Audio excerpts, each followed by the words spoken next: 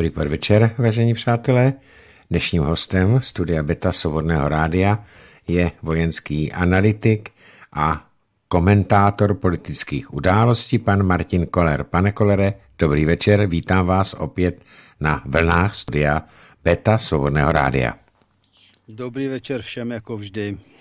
Eh, v první řadě by mě zajímal váš názor. My, když jsme se posledně bavili, to bylo předtím, když začali ty eh, s tím Floydem, tak vy jste předpovídal, že se to zvrhne v neorganizovaný chaos a násilí. A ejhle, ono je to tady. Co říkáte na to, že se potvrdili vaše slova a vaše, vaše předpověď?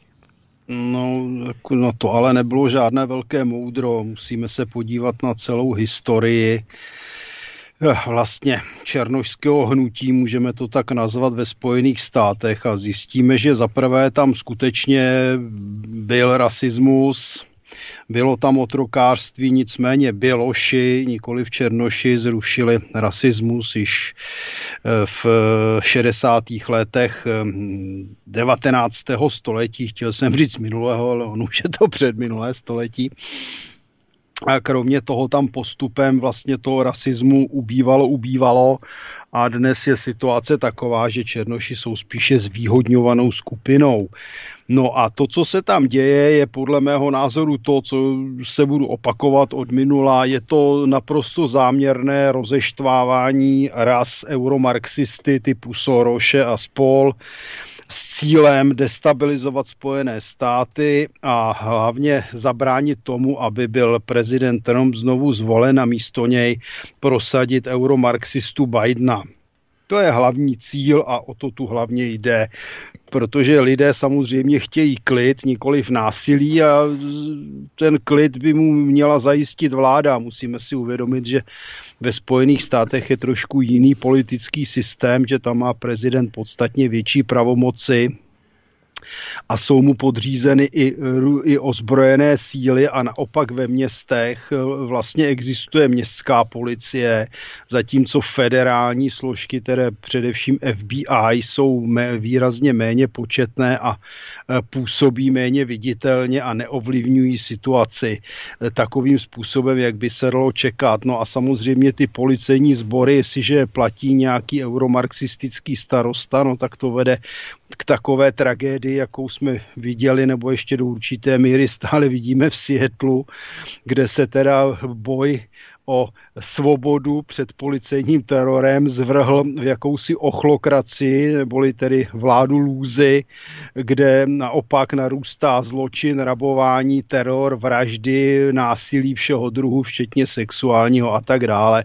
Takže to není otázka běložského rasismu, to je naprostý výmysl. Je to otázka do určité míry, řekněme, takového toho přetrvávajícího černožského rasismu, ale ten by nevedl až k takovéto situaci, pokud by nebyl podněcován bílými aktivisty, kteří pracují v žoldu Soroše a různých euromarxistů.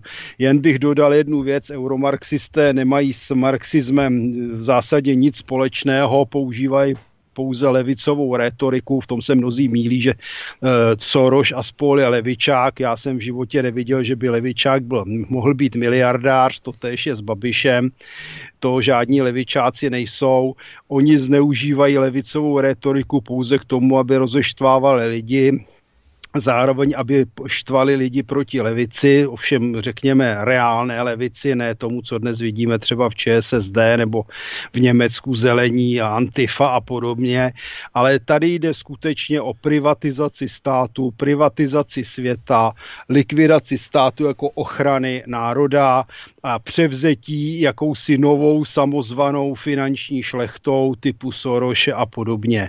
Takže na to si musíme dávat především a jeden z jejich základních, řekl bych, strategických tahů je vytvoření všeobecného chaosu, všeobecného násilí, všeobecné války, s tím, že nakonec oni budou ti, kteří pomocí hlavně americké armády, případně jejich služky euroarmády německé, tedy můžeme mluvit rovnou o novém Wehrmachtu či SS, takže pomocí těchto složek nakonec ovládnou celý svět.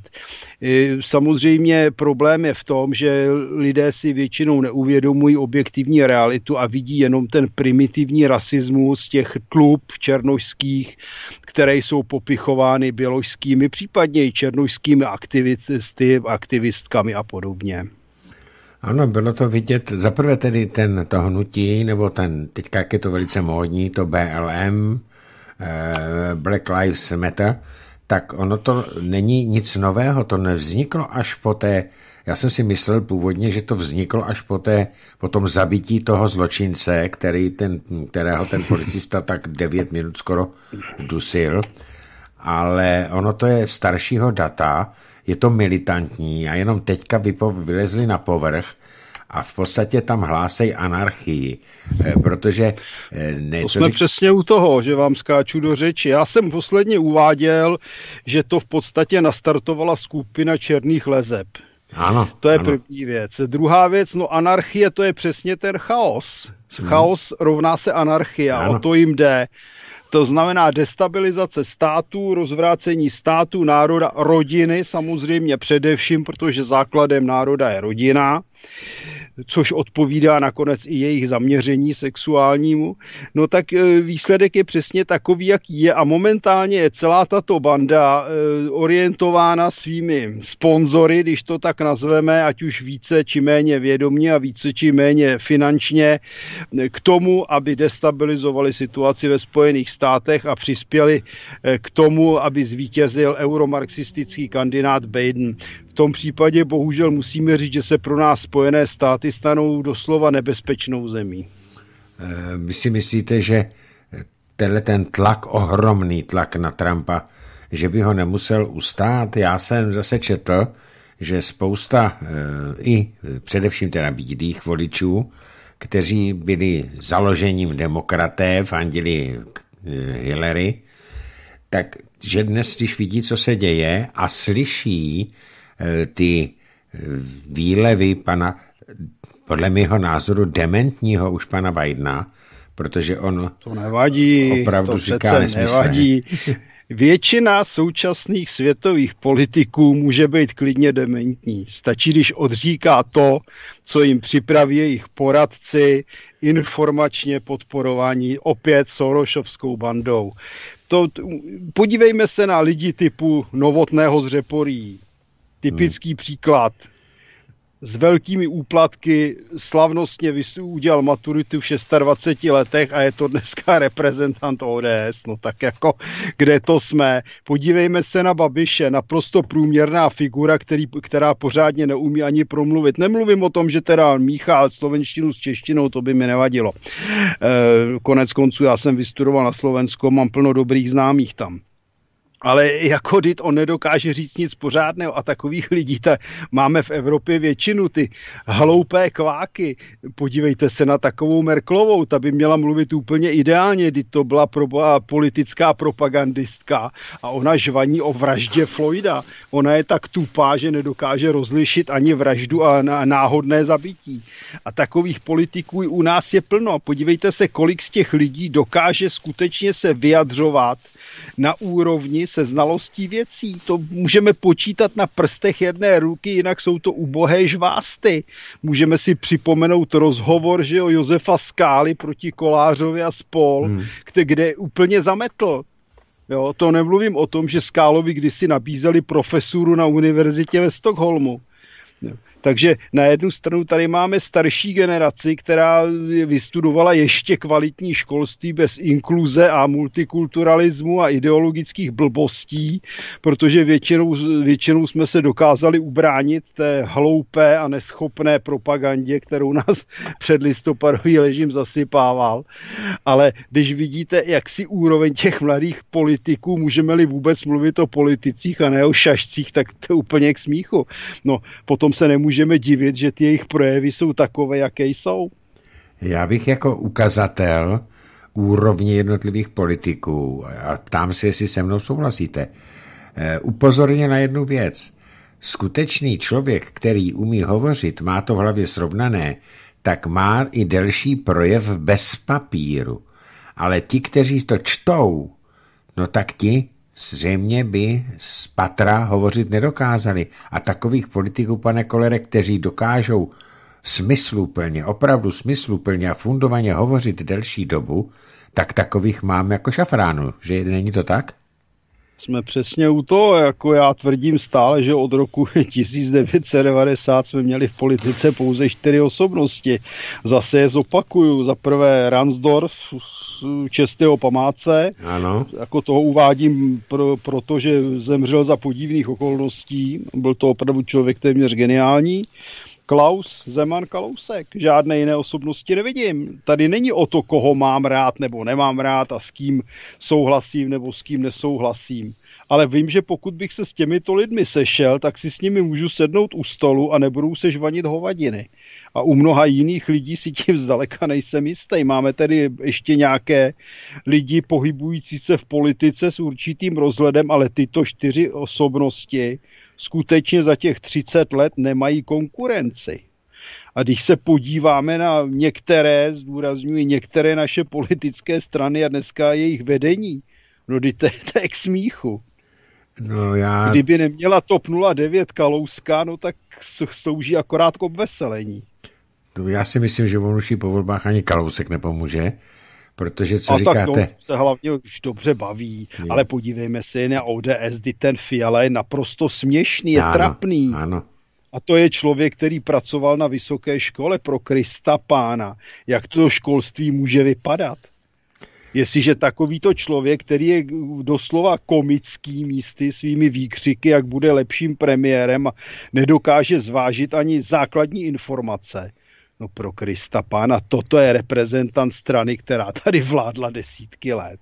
Teď to je no. úplný posměch. Já se vůbec nedivím Klausovi staršímu, který říká, že, že současná ODS nemá s tou jeho vůbec nic společného a má naprostou pravdu. To má. A začíná to tím, že, že odešel Václav Klaus. Pak už se ODS jenom kinklala s prominutím, když to tak řeknu za Topolánka, No a potom kam, kam zamířila za nečase a Fialy, no to je, to je směšné, to je pád, to je ubohost. Oni nemají program, oni nemají lidi, kteří by měli úroveň, jo, sem tam se někdo vyskytne, ale ten není samozřejmě v tom vedení, jo, protože si ho tam to vedení nepustí, že mají hrůzu, to je přesně doklad toho schopného, neschopného vůdce. Schopný vůdce si hledá schopné podřízené. Neschopný vůdce hledá blbce, kteří mu kývají typický příklad je ČSSD, že? Teď jsem to chtěl říct eh, od dob, eh, a teďka já neměl rád Paroubka, ale musím přiznat, stejně jako vy, nesouhlasíte. Ani já ho neměl moc rád, ale musím říct, že i Paroubek byl ještě osobnost. Přesně tak, jako ano, ano. Ve srovnání se Sobotkou, no a Hamáčkovi a jeho klucích nemluvě, že? Přesně tak. Tam není ani jisté, kdo vlastně tu stranu řídí, jestli ji řídí Poché, Petříček, levá ruka Babiše, nebo Hamáček, který to dopra, dotál na úplnou ubohost. Jako to, to, kam se do, do, dospěla ČSSD, to je opravdu nejhorší propad a ostuda ze všech politických stran za 30 let. Je to totální hamba a je to dané tím, jaký lidé tam vládnou. Jestli lidé ovládli celý ústřední výkonný výbor, když se na to podíváme, tak to jsou všechno bývalí mladí demokraté, kteří nikdy nepoznali no práci, vždycky ano, byli živení z daní lidí. Normální, normální kavárenští a kancelářští povaleči, kteří nikdy nic pořádně neuměli, mnozí z nich ani řádně nevystudovali, konec konců jedním z nich je právě Hamáček, ano, že ano. ten tak úspěšně nedostudoval, stejně jako jeho kamarád Janda, který je státním úředníkem, co by pornoherec hmm, hmm, hmm. a člověk, který si dělá to ministerstvu vlastně, co chce. Tak co můžete čekat a jak to může vypadat? No ale ono Pojďme. Podle mého názoru, pardon, podle mého názoru místo předseda vlády by měl mít ukončené vysokoškolské vzdělání, to ať se na mě nikdo nezlobí. Ale tady nejsme v 19. století, kdy mohli fungovat dělničtí vůdcové, kteří měli základní školu a stačilo jim, že někde s prominutím mlátili hubou. Jako od té doby jsme dost pokročili. Eh, ano, je to pravda, protože Hamáček nemá ukončené vzdělání, ale ono to o tom vzdělání není, řekl bych. Podívejte se. Ale je, protože vzdělání, pokud je to kvalitní vzdělání, tak. bych dodal tedy, tak, eh, tak kvalitní. vzdělání vám poskytuje rozhled a metodiku práce s informacemi od toho vzdělání je vzdělání, není o toho našrotit se poučky, jak to dneska je v mnoha školách, obzvláště teda těch soukromých demokratických. Já znám inteligentní zedníky, říkám to na rovinu a říkám to na poprvé a znám blbé absolventy vysokých škol, ano, opakuju to znova. Ale nicméně vzdělání je prostředek práce s informacemi a Kvalitní, to nelze ano. úplně popřít. Kvalitní vzdělání ano, ale co byste řekl třeba na spoustu pirátů nebo na předsedkyni eh, současnou TOP 09 paní Pekarovou Adamovou? Ta je... A kde vystudovali? Kdy? No právě, to jsou lidé, kteří vystudovali už teď. Ano, to jsou polistopadoví absolventi inkluzivních, multikulturních a e, ducha prázdných škol v mnoha případech. Takže no. co můžete čekat? To jsme zase u toho maturanta z, maturanta z Reporí. Že? Ano, ano, přesně tak. Takže Eh, ono v podstatě úroveň školství ovlivňuje úroveň života lidí u nás přesně podle toho, protože titejš, tité nebo titíž lidé se potom dostávají na ty vedoucí funkce. Bohužel je to tak. A teď jsme přesně u toho, co jsem říkal předtím, že navíc tito lidé, ti inteligentnější z nich chápou, že jsou blbí a mají strach ze všech ostatních, aby je neohrozili a nepustí si kolem sebe schopné lidi, takže postupně se celý systém propadá a to vidíme přesně u ČSSD, to vidíme u ODS, to vidíme u TOP 09. Tam až odejde Kalousek se Schwarzenbergem, tak to můžou totálně zabalit. No tak eh, Karl Schwarzenberg, ten už je skoro mimo, protože ten už je na tom No ale špatně. není to blbec, jako já musím se teda knížete zastát, jo, jako není to hloupý člověk a dokáže z hlavy mluvit docela rozumně a není pitomý, jo. To, že má jiné názory, neznamená, že je blbec. Ale já jsem říkal, já jsem to myslel vzhledem k jeho věku, že už je v podstatě, že už Helejte, tam je... já taky nejsem nejmladší a vy taky ne. No to nejsem nejmladší, já bych se taky na takovou funkci nikdy nehrnul v mých letech. To je jedno, takže ono jako ohánět se věkem, to záleží poměrně dost na fyzické a duševní kondici. Takže to jako bychom se mohli dopracovat k tomu, že skritizujeme sami sebe a pustíme, pustíme piráty k vládě. Že jo? Ne, já jsem jenom chtěl říct, že eh, Karel Schwarzenberg se pomalu z toho hlavního proudu politického stahuje. On už to sám povídá o tom, říká, no, že už bude koučit, to je, že jo. To je rozumné od něj, ale to je další doklad toho, že to není blbec, protože on ví a stahuje se sám a nebude se předvádět věčně a nebude předvádět hloupost jako někteří podstatně mladší a podstatně hloupější než je on. Ale teď mi řekněte, když se tady to tak bavíme, no tak ono to s náma vzhledem k úrovni současného školství, tak ono to s náma vypadá velmi bledě do budoucna. Já bych řekl, že to s náma vypadá bledě i z hlediska předešlého školství, když se vezmete, kolik lidí volilo Babiše.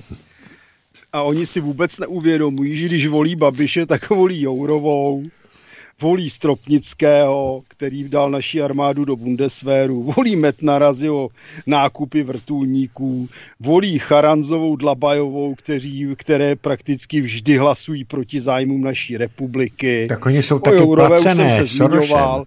A to jsou další a další lidé, jak se jmenovala ta pražská primátorka Krnáčová, Krnáčová jak se jmenovala ta úžasná, úžasná ministrině obrany, teď si nemůžu vzpomenout. Karolina Pík. Ale ne, Babišová. Jo, Babišová ministrině Když se obrany. trefujete do Píkový, s Píkovou jsem mluvil, ta jí přesahovala o tři hlavy. Já Šlechtová jsem nemluvil. Šlechtová, Šlechtová. Hm, hm, hm. No, tak se podívejte. A skoro všechno jsou to ženy, více žen do politiky, ale pro boha ne těch, které jsou v, v ANO. To je úplná hrůza a děs, co je to za lidi. A v ČSSD Marksová, Valachová, likvidátorky českého školství. Mezi náma řekněte mi, pane Kolere, eh, my jsme se ze ženou nedávno o tom tak bavili. Eh, znáte u nás jednu političku polistopadovou, o které bychom mohli bez uzardění říci, ano, to byla dobrá politička. Já jsem si vzpomínal, vzpomínal, ono jich teda bylo šíleně moc za těch 31 let pomalu, nebo 30 a půl no. roku. A já, já si nepamatuju na žádnou opravdu dobrou političku. No já přemýšlím, přemýšlím, přemýšlím. Je to dost bída. Řeknu na rovinu, blbá není, blbá není Bobošíková, jo. I když je to taky komediantka levicová s prominutím, ale aspoň mi připadla, že nemá prázdnou hlavu, jo, když někde hmm. promluvila. Ale jinak je to teda bída, já nechci být teda naladěn jaksi proti té druhé polovině. Já taky ne, ale... Polovině lidstva, ale musím říct, že v Česku teda to, co se dostalo do politiky, to je docela děs, jo. Že, ne, že by tam jako ti chlapi byli úžasní, už jsme jich teď řadu probrali, hmm. ale hlavně tedy to, co, co, co do, poslal do vole Babiš, to je naprostá katastrofa. To by si měli všichni uvědomit, protože se blíží další volby a pro boha nevolte Babiše, protože tady nejde o toho Babiše, který hraje komedii a bude jednou se, do, jednou se konečně dopracují i jeho voliči k tomu, že to byl nejhorší český politik po Havlovi. Ale uvolníte zase místo lidem, jako jsou Jourová a spol, jako pro boha lidi. Hmm. Nevolte Babišov, Babišovu partu. Ano, v podstatě vy jste tam hovořil o poslankyních, ano, Ona, eh, paní europoslankyně Dlabajová a Charanzová jsou v podstatě na výplatní pásce Aspen institutu a Sereše. Eh, Přesně tak. Bylo to i v seznamech, které vydal sám Aspen institut. Eh, pak tam byl ještě europoslanec, který už tam není za KSČM, myslím, že se jmenoval Maštalíř anebo maštálka, já nevím, omlouvám se tomu druhému, ale byli tam, byl tam taky jeden z KSČM. Maštálka, ale jako není hloupý člověk, s tím se dá mluvit a má rozumné názory, ten tam opravdu mohl být jedině omylem. Ale byl tam taky uvedený, jo? To, to, to, teď... A já si maštálku teda nespomínám, že by tam byl. Já jako aspoň z poslední tak půl rok, rok tam určitě není. Ne, ne, to je delší. Já jsem ty seznamy procházel, eh, procházel tam... opakovaně a udělal jsem si výpis opravdu těch nejlepších, co jsou tam dneska mi tam nesedí tak dva, tři lidi, ale jinak tam všichni ti ostatní tam patří. Od Já nemluvím o seznamu Aspen institutu, tam on nebyl. To je, to byl seznam europoslanců, kteří byli na výplatní listině, eh, výplatní listině Sereše, v nějakém jeho fondu. A tam, když byl, když tam byli v tom minulém volebním období, tak tam byli tři naši poslanci, byli tam za ANO paní Charanzová, paní Dlabajová a byl no, tam no. právě i za KSČM. Já jsem to seznam přeposílal, tehdy ještě byl Josef Skála místo předsedou. A docela mě to... udivuje teda, že se ta maštálka odstl, protože jako ten mýval docela rozumné názory, musím říct. Já jsem to taky si o něm jako myslel, nemám nic proti němu, ale byl na tom seznamu uveden a byl to oficiální seznam, který vydal ta Evropská nějaká komise, nebo co kdo to vydával. Jo, teď už tam samozřejmě není, protože už není v Evropském parlamentu. No tak jasně, no to neznamená ovšem, že, že, že nedostává peníze. To nevím, to nevím, to nevím. Ale eh, pane Kolere, co říkáte na to?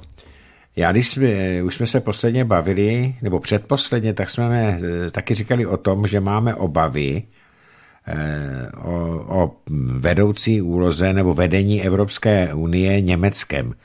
A podívejte se, 1. července nastoupilo do vedení Evropské unie Německo a 2. července v Bundestagu prohlásil ministr Heiko Maas, že pokud východní země, jak oni nám říkají, nebudou chtít dobrovolně přijímat migranty, takže nám je sem vnutí silou.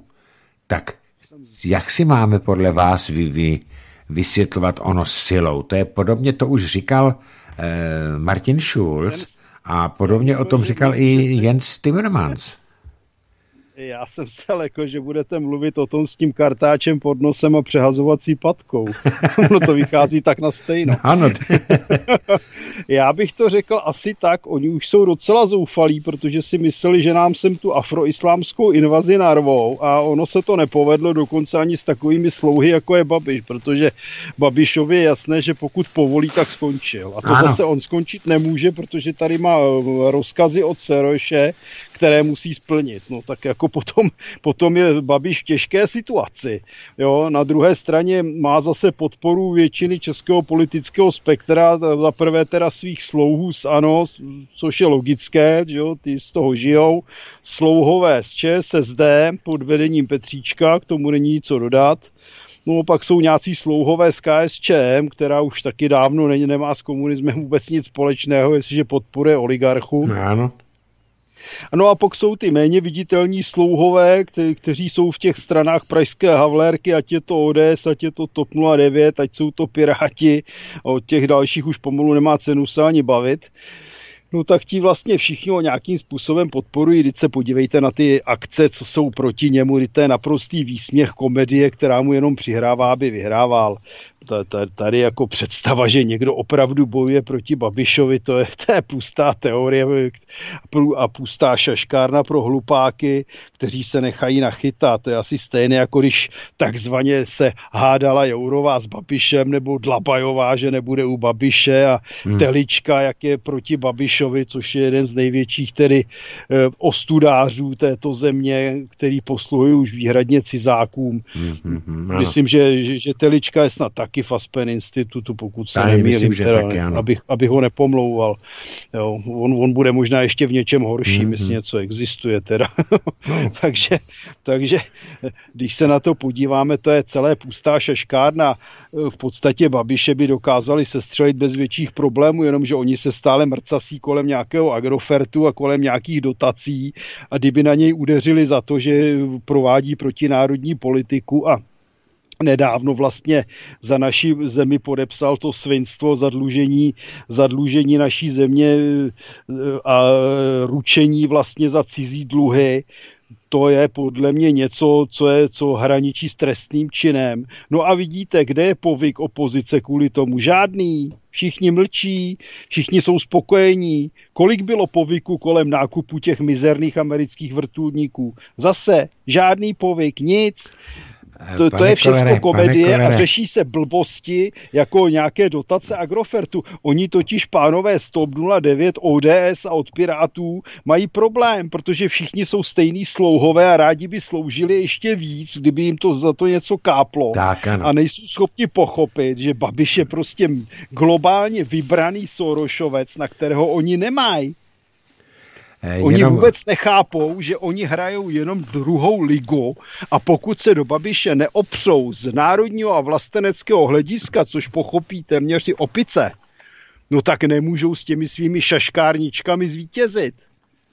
Eh, tak za prvé, Jenom, pane... oni to udělat nemůžou, protože Babiš řekne, ano, pánové, a co jste tady dělali vy těch 25 let? On to taky já, říká. Ano, já posluhuju, já rozprodávám stát, já za, ho zadlužuju v cizině, hrabu, no ale vy jste tady pět, za 25 let to udělali rozkradenou a rozprodanou kolonii, která patří Němcům. Na tom už já jenom dojíždím, ty zbytky, co ještě zůstaly.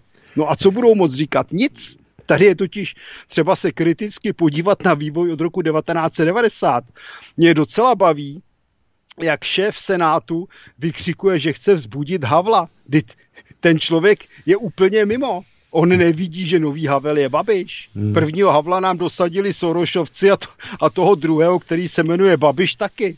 Ano, to, jsou, to, je to je první a druhý Havel, první a druhý spasitel a král komediantů, podporovaný euromarxisty. Jak chtějí tohodle chlapa sundat nějací kašpaři v ODS, které vede taková nula, jako je Fiala. Co eh, úplně k smíchu. Ono i ty milion kvilkaři, ale jenom jak jste říkal o tom, že Babiš podepsal tu, tu dluhovou pas, tak ono se to zatím nepodepisovalo, ono se o tom zatím hovořilo a popravdě řečeno Babiš eh, tam nebyl hned na tom prvním jednání, nebyl vývrozeně proti, ale zatím se ještě nic nepodepsalo. Jedině kdo s tím řekl, že to nesouhlasí, byli Maďaři. Jasně, Orbán. Ano, souhlas. ale... ale uvidíte, že Babiš to podepíše. No já jako jsem přesvědčený, ano, on, proto říkám, že to ještě je, nepodepsal. On je sluha a podepíše to a jestliže to nepodepsal do dneska, tak to podepíše zítra nebo pozejtří, ale udělá to, udělá, protože ano. on to nemůže nepodepsat. Ano, ale pokud to... Nebo udělá zase svoji klasickou opičárnu, přestane se k tomu vyjadřovat a pošle tam, aby to podepsal Petříček. Eh, ono to tady nejde. Tady to musí být opravdu premiéři nebo prezidenti podle toho, jaký je systém nastavený. Takže Zeman to, pode... nepodepíše, takže ne, zbývá Babiš, Babiš, ale co, co, jako, co, no tak Babiš se hodí Marot a podepíše to Hamáček, nebo ten to deleguje to na někoho jiného. To je Tady to je přece naprostá pitomost, jestli to podepíše ten nebo onen. Tady jde o to, že tam bude osoba, která bude mít zmocňovací právo podpisu. Za Českou republiku, přesně tak. Tak. Ano. A je úplně jedno, jestli to bude Babiš. Naopak no. jako klasická Babišovina je to, že se nikdy k ničemu důležitému nevyjadřuje, a za druhé na, na špinavou práci vždycky pošle někoho jiného. Ať to byl Stropnický, ať to byl Petříček, ať to byl Metnar, všelijaké ty podpisy v hmm, Istanbulu, ano, ano. v New Yorku. To, z toho Babiš nic nepodepsal, vždycky tam poslal ty svoje slouhy, který za něj tu špinavou práci udělal. To je pravda, ano, on to dělá schválně, takhle dělá to dlouhodobě. Jinak eh, to, že by nikdo neupozorňoval na to, co je zač pan premiér Babiš, tak to i ve sněmovně, i veřejně neustále kolem dokola říká eh, SPD.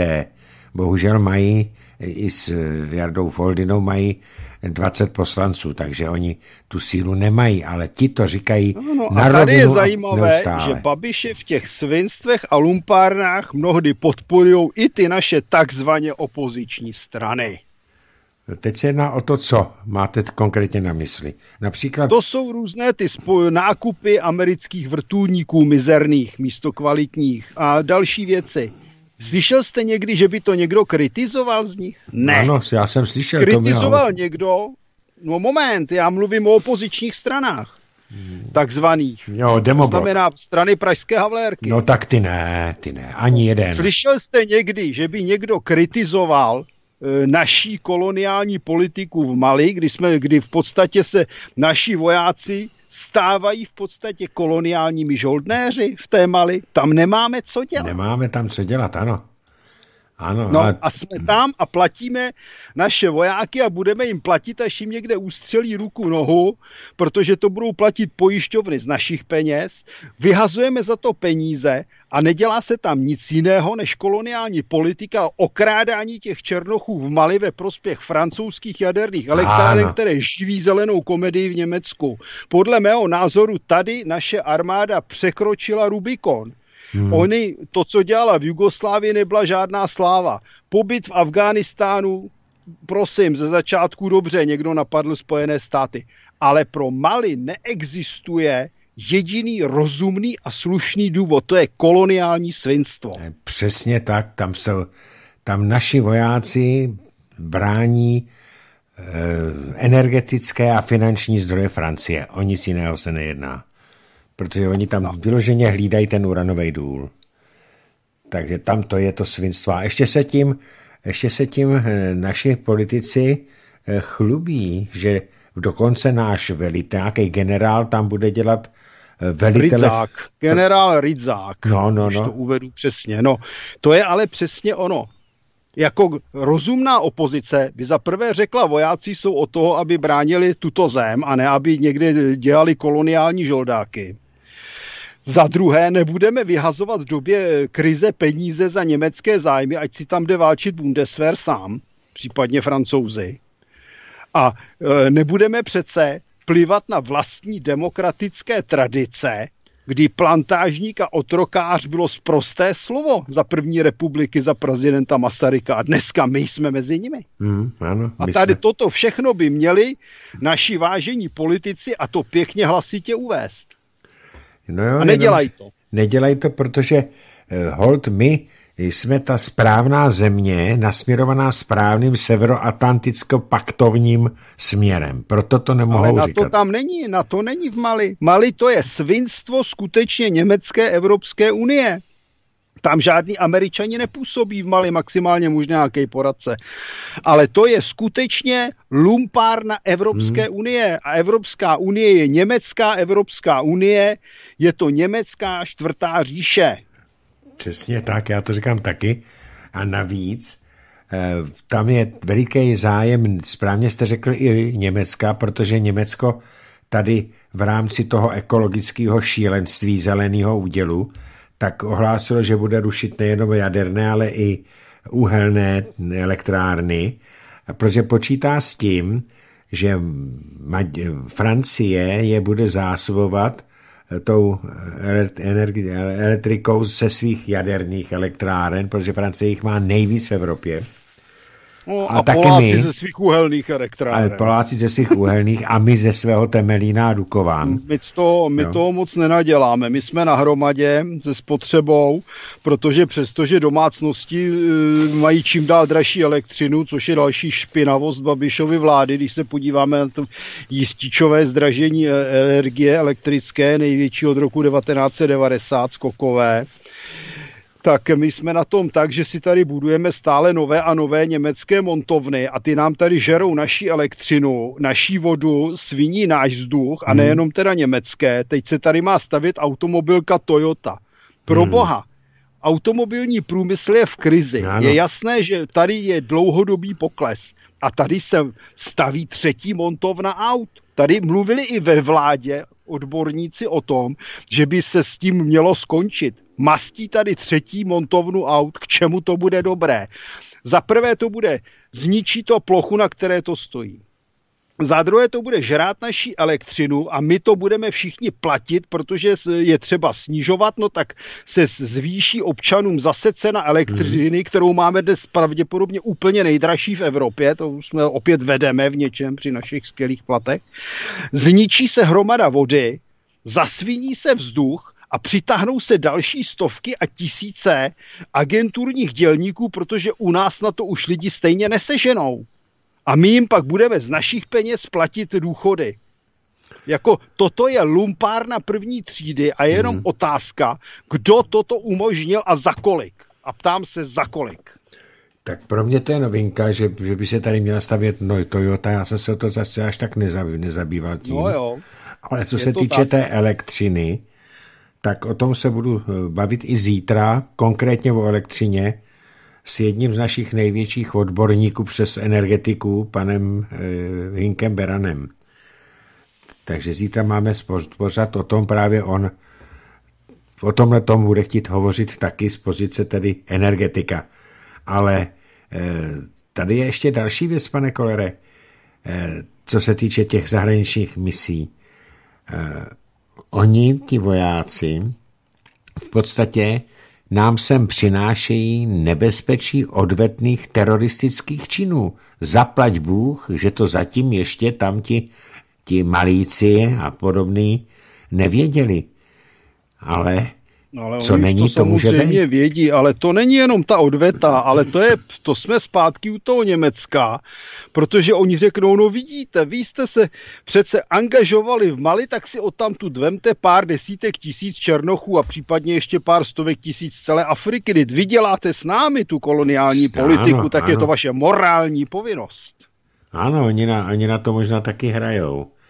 No, no ale teď jsem, my jsme odešli od toho původního otázky, jak podle vás nám může pan Heiko Maas nebo další třeba uh, Jens Timmermans vnutit silou vnutit no, silou, silou migranty. Jak? Tady mluvíme o tom, čemu říkáme síla. Já no. to vidím hlavně v té smlouvě Lisabon 2, že jo, která která se, je vlastně základem změn v Evropě, dalších negativních změn. No, no. Upozorňuji tedy, že smlouvu Lisabonskou původně odmítal dlouhodobě podepsat eh, tehdejší prezident Klaus, nakonec ho k tomu eh, hlupáci v ODS dotlačili naprosto brutálně. Ano, brutálně a dneska máme, dneska máme tady Lisabon 2, no a ten jestli bude uplatňován, no tak to znamená v podstatě masovou migraci. Oni se, se o tu migraci opírají jako naprostou politickou mantru a proto říkám, naše republika musí odejít z Evropské unie, protože oni s tím nepřestanou. Hmm. Nepřestanou, pokud, pokud budou mít tu možnost. No a právě teď půl roku to bude velmi tvrdé, protože Němci budou tlačit na pilu, že jo? No tak oni budou tlačit na pilu, ale mají z tohoto hlediska problém. Oni moc nemají jak tlačit na pilu. Jenomže no, protože tím... tady oni, a kromě toho tady ta V4, teda kromě teď Slovenska, kde tamní Barbína, jak si je schopná udělat úplně všechno. No právě, ano. Jo, po té, co jí nakonec sehnali eh, erotického motivátora, když to tak řeknu, tak, eh, tak je patrně schopná zradit všechny Slováky. No tak tady, tady samozřejmě V4 je problém a není to tak úplně jenom V4. Já se domnívám, že ten odpor bude i v pobaltských zemích proti té afrikanizaci a podobně. A základem odporu je Maďarsko. Tady jde o to, jak se zachovají u nás. Já prostě Babišovi nevěřím, Babiš není český vlastenec, tak což není dáno Čech. ani jeho původem, není to ani slovenský vlastenec, hmm. já Babišovi nevěřím a on se bude tvářit jako dobrák a pošle nějaké svinstvo podepsat nějakého ze svých slouhů. Ať už to bude Petříček, ať už to bude kdokoliv jiný. Na ty špinavé práce je Petříček jednička. No, tak jste vzpomenul Metnara, ten taky přece... Metnar je na ministerstvu obrany, Já tam vím, má ale, ale... manévr, ten, ten může podepisovat akorát ty obchody typu vrtulníků UH-1 a AH-1, který mi teda dal našemu letectvu pořádnou ránu a já se obávám, že to není poslední mizerný nákup a poslední vyhozené české peníze. Ale pan Metnar Ale byl musíme pod, si podpisem... připomenout, že Metnar dělal samozřejmě ministra zahraničí, že tak ano, potom Marrakeš. za dostal ministerstvo, ministerstvo obrany, kde něco může kápnout od zbrojařů, bych dodal, že to je taky důležité. No a ministerstvo zahraničí převzal ještě horší slouha Petříček. No, ten je přesně po svém tatínkovi. Tak a teďka máme tady jeden problém ještě navíc. Jste říkal pryč, já to říkám od samého začátku, já jsem byl proti Evropské unii už hned, když se o tom mluvilo ze začátku, ale teďka chtějí na nás udělat tu dluhovou past. A to právě jste říkal, že to mm, Babiš podepíše, já to taky se obávám, že to podepíše.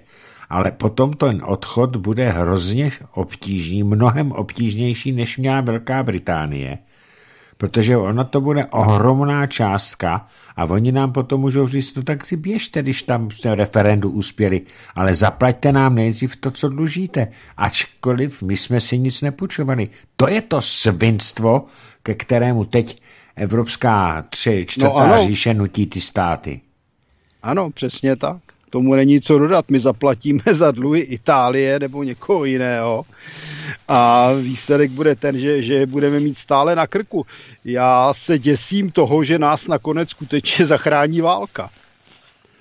To je ale opravdu hm, snad to poslední nejhorší řešení, jenomže... Já bych řekl, že k ní směřujeme. Ale tak eh, směřujeme, já se toho taky bojím, Zeptám se vás, teďka se, se vrátíme hned na začátek našeho pořadu, pane Kolere. Myslíte si, že Trump, takhle já jsem přesvědčen o tom, že Trump je zárukou nevypuknutí války s Ruskou federací. On Souhlas. to prohlasoval a on to dodržuje. Souhlas. Myslíte, a to je taky jedna z vin, kterou mu ti demokrati uh, kladou na jeho bedra. Myslíte si, že to ustojí a že americký volič si toto všechno i přes ty svinstvo, co se tam teď děje, uvědomí a dá mu ten hlas i e, teďka za 120 dní? No, to je velká otázka. Já doufám jedno, že oni to přehnali s těmi svými euromarxistickými a rasistickými šaškárnami a že za prvé průměrný americký volič, který nežije ve velkém městě a nestudoval euromarxistictvem prohnojenou univerzitu, by mohl hlasovat rozumně pro Trumpa, protože průměrný volič chce pořádek. Ono, jak si ve válečném stavu, kdy se bojíte vylézt na ulici, nechce žít nikdo. Eh, problém je v tom, že američané jsou dost ovladatelní pomocí médií. Hmm. A to je velký problém, protože převážnou většinu médií ovládají euromarxisti. Takže je to skutečně ruleta, já doufám, že Trump to ustojí a máme opět ještě pár let šanci žít v míru. Mm, já totiž vycházím z jedné věci. Mm, demokrati mají relativně dobré vztahy s Čínou a já se obávám toho, že oni by měli tendenci rozeštvat Čínu a Rusko a pak napadnout Rusko. A Čínu si nechají potom jako zákusek na druhé kolo. Je otázka, jestli Číňané budou tak pitomí, aby jim na tu hru skočili. Já doufám tedy, že ne. Já taky doufám, ne. Dneska jsem dočetl, ne, teďka v poslední dny jsem se dočetl, že se kymácí nadvláda dolaru tím, jak velmi silně po, po, posiluje ten čínský yuan že by mohl v budoucnu jako největší ekonomika světa v současné době ten petrodolár, na kterém stojí a padá Amerika, že by ho mohl vytlačit. A to by bylo pro ty Spojené státy, myslím si, ten poslední řebiček do rakve.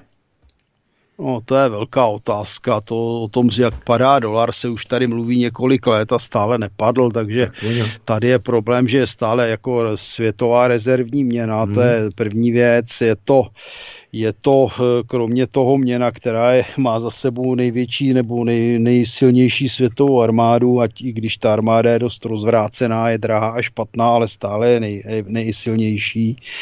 Takže ono je to velmi složité, nakolik by se podaří nebo nepodaří a jestli je vůbec cílem eh, vyvrátit dolar jako světovou rezervní měnu. Problém je v tom, že vlastně americký dolar spravuje FED, což je soukromá firma. Hmm a oni mohou díky té ekonomické převaze především nad Evropskou unii a většinou světa oni si vlastně mohou tisknout naprosto bezcené peníze a je to úplně jedno, těma penízma se bude platit, i když jsou bezcené. Oni si to taky tisknou. Eh, teď další věc, já jsem tady dočetl se, eh, že nějak jakýsi americký generál řekl, že americká armáda je natolik silná a si, myslím i morálně a finančně, i tedy personálně a vybavením, že by si mohla dovolit otevřít dvě fronty. Já, co jsem četl literaturu, tak jakmile někdo otevřel dvě fronty, tak prohrál. Myslíte si, že američani, kdyby napadli Ruskou federaci a Čínu, že by to ustáli? V zásadě ano, tak američani přece bojovali na dvou frontách i za druhé světové války. Bojovali v Pacifiku a bojovali v Evropě. Přičem v Pacifiku nesli téměř veškeré náklady ano. a ztráty a v Evropě nesli aspoň část nákladů a ztrát. Začali v podstatě v severní Africe nebýt jich, tak by to tam angličani neustáli a potom se vylodili jak tedy v Normandii, tak u Marseille v Jižní Evropě, takže jako američany nelze podceňovat, to je takové to, když nemám někoho rád, tak ho podceňuji, já bych to rozhodně nedělal. A američani jsou schopni vést válku na dvou frontách a to z jednoduchého důvodu, protože v Evropě mají Evropskou unii a místní pitomce, kteří nakonec je otázka, kdo vlastně za koho bojuje, protože já tvrdím dlouhodobě a stále to budu opakovat, že celá politika Evropské unie a NATO začíná u Gélenova, Gélenova spravodajského pracoviště v roce 1945 hmm, hmm. a že ne, že Evropané bojují za Američany, ale Američani kryjou záda německému revanši. To je první věc. A máme tady samozřejmě českou armádu, kterou pak strčí stejně jako slovenskou, polskou, maďarskou a další do první linie a teprve za nimi bude ten Bundeswehr, který by měl zvítězit s pomocí amerických jaderných zbraní, raketa bombardérů. To je první věc. Druhá věc, nesmíme zapomínat na rivalitu fázi. Tam proti Číně stojí Japonsko, což hmm. není žádný trpaslík, dneska už je to velmi moderně i vyzbrojená země. Je tam Jižní Korea, je tam Austrálie, která má sice nevelkou, ale velmi dobrou armádu. Jsou tam střety s Indií a tak dále. Indie v posledních, v posledních letech poměrně dost proamerikanizovala. Tam je takový ten skorumpovaný premiér, který je hodně proamerický. Takže ono jako představa, že by američani museli prohrát válku s Ruskem a Čínou, to zdaleka není pravda to je velmoc a má hodně spojenců, kteří nějakým způsobem jsou na něj navázaní. V podstatě oni se nepouštějí do boje jenom proto, že Rusko je na tom tak dobře, že je schopný zasadit děsivé údery jak Evropské unii, z čehož má dneska strach i Merklová, mm, při, mm. dokonce i při své hlouposti a nechápavosti. A hlavně i ve Spojených státech je jim jasné, že tentokrát by dostali pořádnou porci oni a u nich se naposled bojovalo, bojovalo vlastně v době začátku první světové války, když se tam stříleli s Pančovilou na hranicích a velká válka tam skončila v roce 1865, že? Ano, ano. Že všechny ostatní války vedly na cizím na území. území. Takže tentokrát by se z toho tak lacino nedostali a ono to není žádná legrace a to by se jim tam ty černoši mohli zbouřit doopravdy. Jo, a mohli, mohlo by to dopadnout tak, že někdo by pověsil Soroše někde na Lucerně. Tak ono zase eh, na druhou stranu, nevím, jak to dopadlo, ale četl jsem někde eh, z jednoho projevu Donalda Trumpa, který chtěl Soroše obžalovat za protiamerickou činnost. Pak to utichlo, takže nevím, jestli mu to někdo vymluvil, nebo jestli mu to jsou zamítl, nevím, ale už taky má asi pana Sereše plný zuby, pan Trump. No já se tomu nedivím. Podle mě, mého názoru je Soros docela normální zločinec, protože podporuje destabilizaci státu a to je něco, co, za co by měl být stíhán dokonce těmi nejvyššími tresty. Pane Kolere, ještě bych rád, teď před eh, závěrem první hodinky povídání, slyšel váš komentář na tu eh, neskutečné, teď se projednává rozpočet ve sněmovně. Eh, paní Šerová přišla nejdřív s tím, že se místo 60 miliard udělá 200 miliard, to ještě i schváleno, a teďka přišli na půl bilionu korun. SPD už jasně dopředu říká, že bude hlasovat proti. Eh, co říkáte na to, že my jsme eh, v současné době máme takový propad ekonomiky, ještě větší o jeden procentní bod, než když jsme přecházeli v 90. letech na tržní ekonomiku, tak tam to propadlo asi o 7 procentních bodů, teď už máme 8 a padá to furt. Tak co říkáte na to ohromné zadlužení půl bilionu korun, které ještě nemusí být konečné? No jo, protože v 90. letech to řídil Klaus, který ne, není blbej s prominutím, když to řeknu na rovinu. Hmm. Jo? Dneska tam jsou lidi, z kterých tomu nikdo pořádně nerozumí a hlavně ví, že musí dělat to, co říkají Němci. Klaus se snažil vybudovat národní kapitalismus. To se mu bohužel nepovedlo z více důvodů, mimo jiné i díky vlivu jeho vlastních partajníků a tomu, jak se mnozí naši občané chovali, jak se sem narvali s pomocí skorumpovaných českých politiků cizí firmy. Ano. To je první věc. Druhá věc, co se týče zadlužení. Já myslím, že to zadlužení bude dokonce větší než půl bilionu, ale musíme si uvědomit jednu základní věc. V roce 2019 to pravděpodobně odplynulo do kapes cizáků plus Evropské unie přibližně bilion korun. Ano. Když ne celý, tak jsme se k němu přiblížili. Ano, to říkal. A tady Abiš. musíme si říct jednu věc. Kdybych, kdyby naši politici neudělali z naší země německou, především německou kolonii, tak jsme si nemuseli půjčovat půl bilionu a měli bychom bilion v kapse. Kdyby naši politici, včetně té takzvané opozice z pražské havlérky typu ODS, TOP 09 a podobně, odhlasovali, že se nebudou podporovat eh, státy v eh, daňových rájích, že se a prosadili, eh, prosadili především to, že kdo u nás podniká, ten u nás platí daně, tak bychom si vůbec nemuseli půjčovat. A tady hmm. přesně vidíme, že celá opozice je banda žvanilů, kteří na jednu stranu kecají, něco o boji proti Babišovi a ve skutečnosti posluhují cizákům. Já bych doplnil je takový krátký postřeh. My jsme se dostali do situace, že čeští malopodnikatelé a živnostníci eh, si vytvořili za těch 30 let představu, že jsou vlastně oni eh, ti velcí podnikatelé a tak dále. Opak je pravdou.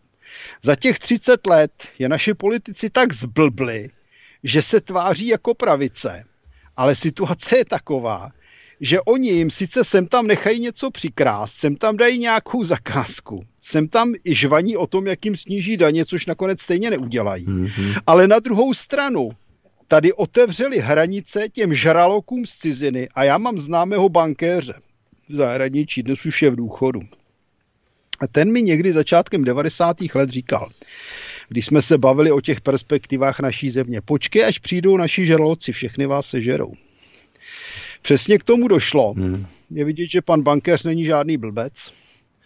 A e, situace je taková, že naši politici tady co si žvaní, vždycky bojují proti komunismu, když chtějí podpořit ty naše podnikatele, přitom tady už dávno žádný komunismus není. Ano. Ale na druhou stranu sem pouštějí ty cizáky, který likvidují přesně ty naše podnikatele a živnostníky. A bohužel ty naši podnikatele a živnostníci jsou většinou tak blbí, že to nevidí a stále jim skáčou na lep protože celá záležitost už dávno není mezi nějakou pravicí a levicí, ale mezinárodní a cizí. A pokud budou naši podnikatelé a živnostníci tak blbí, že budou podporovat strany, které sem napouštějí cizáky a zvýhodňují je, tím, že třeba nemusí u nás platit daně ty jejich firmy, no tak nakonec z nich nezbude vůbec nic a budou z nich zaměstnanci v Babišových podnicích. Je to tak, protože o tom říkal sám Babiš u Merklové, když vyčítala mu, já nevím co, že tady ona, že jo, že nechceme jít na těch, na těch 3% HDP na, na zbrojení, tak on řekl, že tady ne, dvě. Já vím, že říkal nejdřív dvě, ale on potom už říkal ne, Trump tři. V dohodách jsou dvě. Jsou dvě, ale Trump už se vyjádřil, že u toho nezůstane a že by měly být 3%. Jo, Nikdo ale... ty 3% nezaplatí v současné situaci. Ale ani ty dvě ne. No dobře, ale ty dvě jsou odsouhlasené v rámci Ano, ty NATO. jsou odsouhlasené v rámci To je jakási ano. mantra. Ano, ale žádné ano. 3% se nikdy reálně neprojednávaly, ty by totiž nezaplatilo ani Německo. No Německo se prohlásilo, že nezaplatí ani ty 2%, že eh, do v příštích pěti letech se nedostane přes 1,38%, tak nějak jsem to čet. No, jsme u toho. No, no. A, ale on Babiší tam právě řekl, že ročně od nás odchází z republiky 800 miliard až bilion korun. A to bylo i v mainstreamovém tisku, představte si tehdy. Takže kdyby jsme tohle nemuseli všechno spát do daňových ano. rájů. A jsme u toho. Babiš jí to řekl a tím to skončilo. A nic. Neudělal nic, aby ne. se to změnilo a neudělala nic ani většina opozice. Přesně a tak. A v tom je ta úžasná komedie. Babiš tam něco bábě Merklový řekl, pak zalezl a řekl provedu, tak jak mi to nařizujou, nařizuje Soros a opozice radostně odhlasovala přesný opak toho, co by měla dělat. Teď, si, teď jsme o tom hlasování mluvili posledně. Přesně tak. Pořadu. Jak všichni ano. se na to vykašlali, kromě SPD, mladšího Klauze a pár, pár poslanců myslím, že komunistů. Komunistů. A tím to skončilo a všichni ostatní tohle svinstvo a rozkrádání státu podpořili. Kdyby chtěli udělat něco pro podnikatele a živnostníky, menší a české, zdůraznuju ty menší a české, tak by udělali to, co já jsem už navrhoval před 14 dny na Slovensku v pořadu, postavili se budovy, ve kterých by se za nákladovou cenu pro české, upozorňuji, české podnikatele a živnostníky pronajali prostory, kde by mohli působit. Tím by se jim odlehčilo těch všemožných zlodějských nájmů hmm. a sdírání eh, ze strany, ze strany držitelů nemovitostí, různých trhů a podobně. To by byl podle mě daleko lepší podklad než žvaněním o nějakém procentu daní a pomocí. Oni by jim měli v první řadě umožnit podnikat a to znamená dát jim státem podporovaný prostor který by byl jenom nákladový. A tohle to je velice dobrý nápad, tohle to, to se bohužel nikdy nestane. A navíc o tom, jak vůbec... Proč by se to nestalo? Ani protože, by to nebylo tak drahý. Pane Kolere, protože by nesmělo potom vyhrát ano. Když navrhovalo SPD opakovaně na program jednání sněmovny, aby se zařadil bod neplatit neziskovým organizacím politi- politickým Eh, ne neplatit, ale aby, aby museli přiznávat toky peněz, tak opakovaně hlasy ano a celé demo bloku to bylo zamítnuto. V podstatě to zamítly všechny strany. Kde je ta opozice, která žvaní, jak bude lépe vládnout než Babiš, počínaje tím ano, nikde, Nechci protože... se vyjádřit fialou, že tak oni podporují neziskovky politické, ano. které nám škodí Oni podporují to, že odsud mi táhne pomalu bilion korun. Co je to za opozici? To je Babiš v ledě modrém, akorát, že jsou o, o třídu níž, protože oni nebyli vybráni jako guvernéři této země a nikdy nebudou. Jsou to obyčejní slouhové a žádná opozice. Je Dělají pravda. ostudu, vůbec se nedivím, že bývalý prezident Klaus si nad ním jen odplivuje, dobře dělá. Já v tomto případě ho chápu, protože opravdu je to úplně něco zoufalého. Ale tady na tom je vidět, že ta opozice vůbec není opozice a přesně se to popsal. Oni by jenom chtěli vystřídat u koryta toho babiše, aby nemohl krát to, ale mohli krát oni. Přesně, to jde. ano, ano o nic jiného nejde, nejde, ale oni nechápou, že oni nebyli vybráni. Vybráni, ano, ano. Oni nebyli, I kdyby, ano. se, I kdyby s prominutím tomu Serešovi roztrhli anální otvor, tak nebyli vybráni. vybráni. A jestliže toto jim nedochází, tak mají smůlu, ale pro si nehrajou na opozici. Je to tak. Protože opozice by, pro, by, by ve vztahu k protinárodnímu Babišovi měla vystupovat jako opora státu a národa a to naše opozice teda rozhodně nedělá. To ne. Pane Kolere, máme 20. hodinu, my si dáme teď 4 hodinku přestávku, potom se pustíme do našich posluchačů, respektive naši posluchači do nás s otázkami a můžu vám říct, že už teď tady je otázek tolik, že na, na SMS-kách, že to, to bychom tady byli do půlnoci, takže do čtvrt na devět si dáme trochu přestávky. Zůstaňte mi připojený, ano? Ano.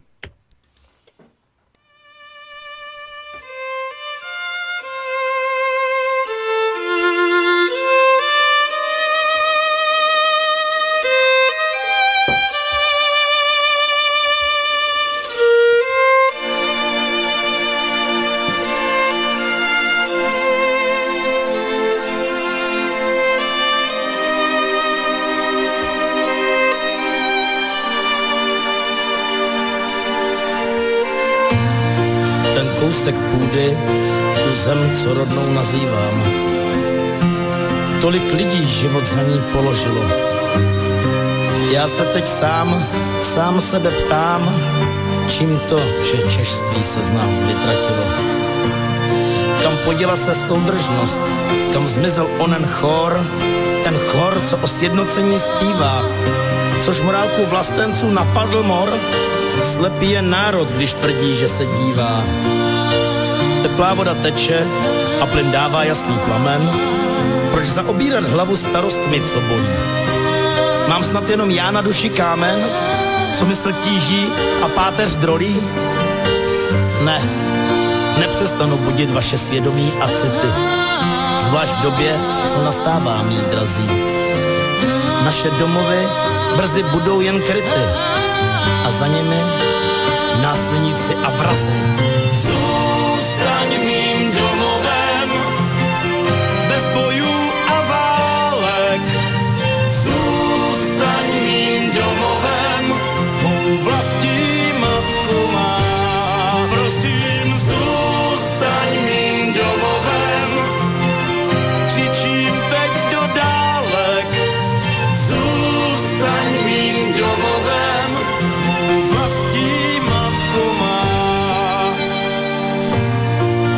místo jednoty, pokory, síly a rozumu, vládnoucí tělesa kapsy své mastí. Hledáme hodnoty ve slevách konzumu a zabranou vetřelci zbrojí svou chrastí. Až naše památky, klenoty předků, ruiny a popel se na dobro promění, budeme zpívat si těchto pár řádků se strachem v slzách, tiše a potají. Pozdě je prstem vlastně zrát se značit. Vlastí už nebude tvárodná zem, kterou nám předali dědové naši, vybojovanou proti všem. Snad jednou můj hlas uslyší celý ten národ, pro který dýchám. Až výbuchy světových velmocí utiší, zakřičí, tato prozba má dotiša.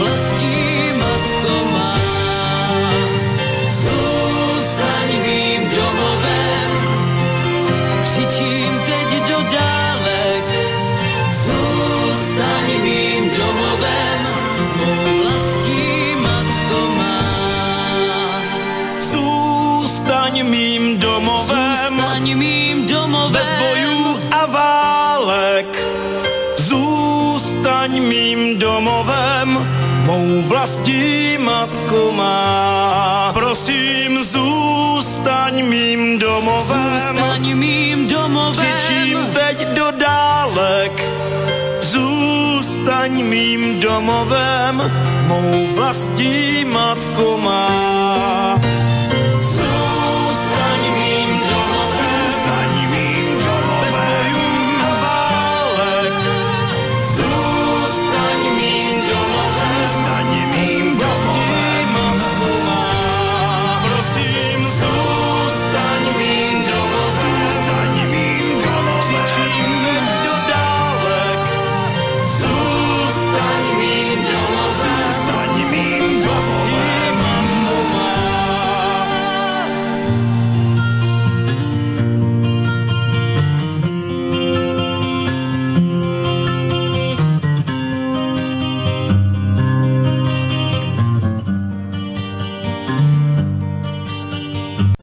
Máme po přestávce. Já volám pana Martina Kolera, slyšíme se? Ano, jsem samé ucho. Tak, bych ještě... něčím začal ještě, než začneme s těmi dotazy. No, povídejte. Jednou důležitou věcí, které jsem si povšiml, máme tady různé pětní záležitosti, kterým se připomínají oběti druhé světové války, i když Samozřejmě se to vše možně potlačuje. Nedávno se zapomnělo na to, jak Němci 2. července 1942 splinovali 81 lidických dětí. Ano, ano. To bych jenom připomněl, o tom se samozřejmě v takzvaně české televizi pana Dvořáka nemluví jak by se mohlo. Ale já, mně jde o jinou věc momentálně. Mně jde o ta pětní místa. A myslím, že na takové místo, jako je třeba pětní místo našich parašutistů v kostele Boromejského, jiná, by neměli vůbec pouštět lidi jako Metnar, hmm. Babiš, Stropnický a různé politiky, kteří hlasují v německých zájmech. Charanzová, Dlabajová, Jourová. To znamená nepouštět tam lidi, kteří posluhují Němcům, dělají z naší zemi kolonii a ponižují náš národ. Ti by měli mít zákaz vstupu, protože jejich pobyt je urážkou duší všech hrdinů našeho protiněmeckého odboje. A já bych tomu ještě, pane kolere, dodal.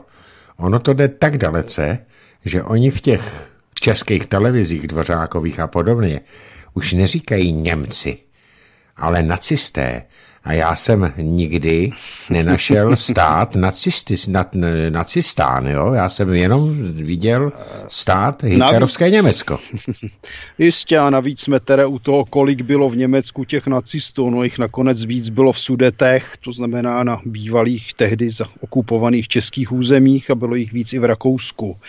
Takže neexistovalo žádné nacisticko, existovalo Německo a zločinů se samozřejmě nedopouštěli zdaleka jenom nacisté, já bych připomněl, že ani v případě příslušníků SS nemuselo jít o členy nacistické strany, i tam byli nestraníci. Hmm, to je taky pravda, ano. E, jinak e, tady pro vás i pro naše posluchače e, tuto neděli začínám číst poprvé knihu Rovnice řešená s radou, která byla napsána v 85. roce a popisuje to, co se dělo v, na, v Sudetech, eh, nebo v našem, můj Sudete to je německý název, v našem pohraničí před, eh, před Mnichovskou zradou. A jsou tam i zápisy z těch jednotlivých četnických stanic a finančních nebo finančníků, jo, ty finanční policie, jsou tam i zápisy přesně, co se stalo, je to velice zajímavé čtení. Takže, a drsné. A drsné a velmi drsné čtení. Je to kniha z 85. roku. Eh, v neděli v 18 hodin tam bude první část, takže pro vás, kteří byste se chtěli o to zajímat, tak to je anonce. Tak, pane Kolere, teď jdeme na, na otázky a je jich tady tolik, že to musím nejdřív najít. Tak, tady mám další, další kebabárny, děkuji. Těch kebabárn, naši posluchači mi píšou, mi píšou, kde všude se otvírají kebabárny a jsou všude už, to jsou předvoje. No to ale to chce, aby tam lidé nenakupovali. No právě. A kdo tam chodí? To chce, aby tam lidé nenakupovali a připomněl bych opět tedy starostu z Řeporí, který hlasitě vychvaloval kebabárny, že jo, svého času a říkal, jak si chodí rád dát kebab.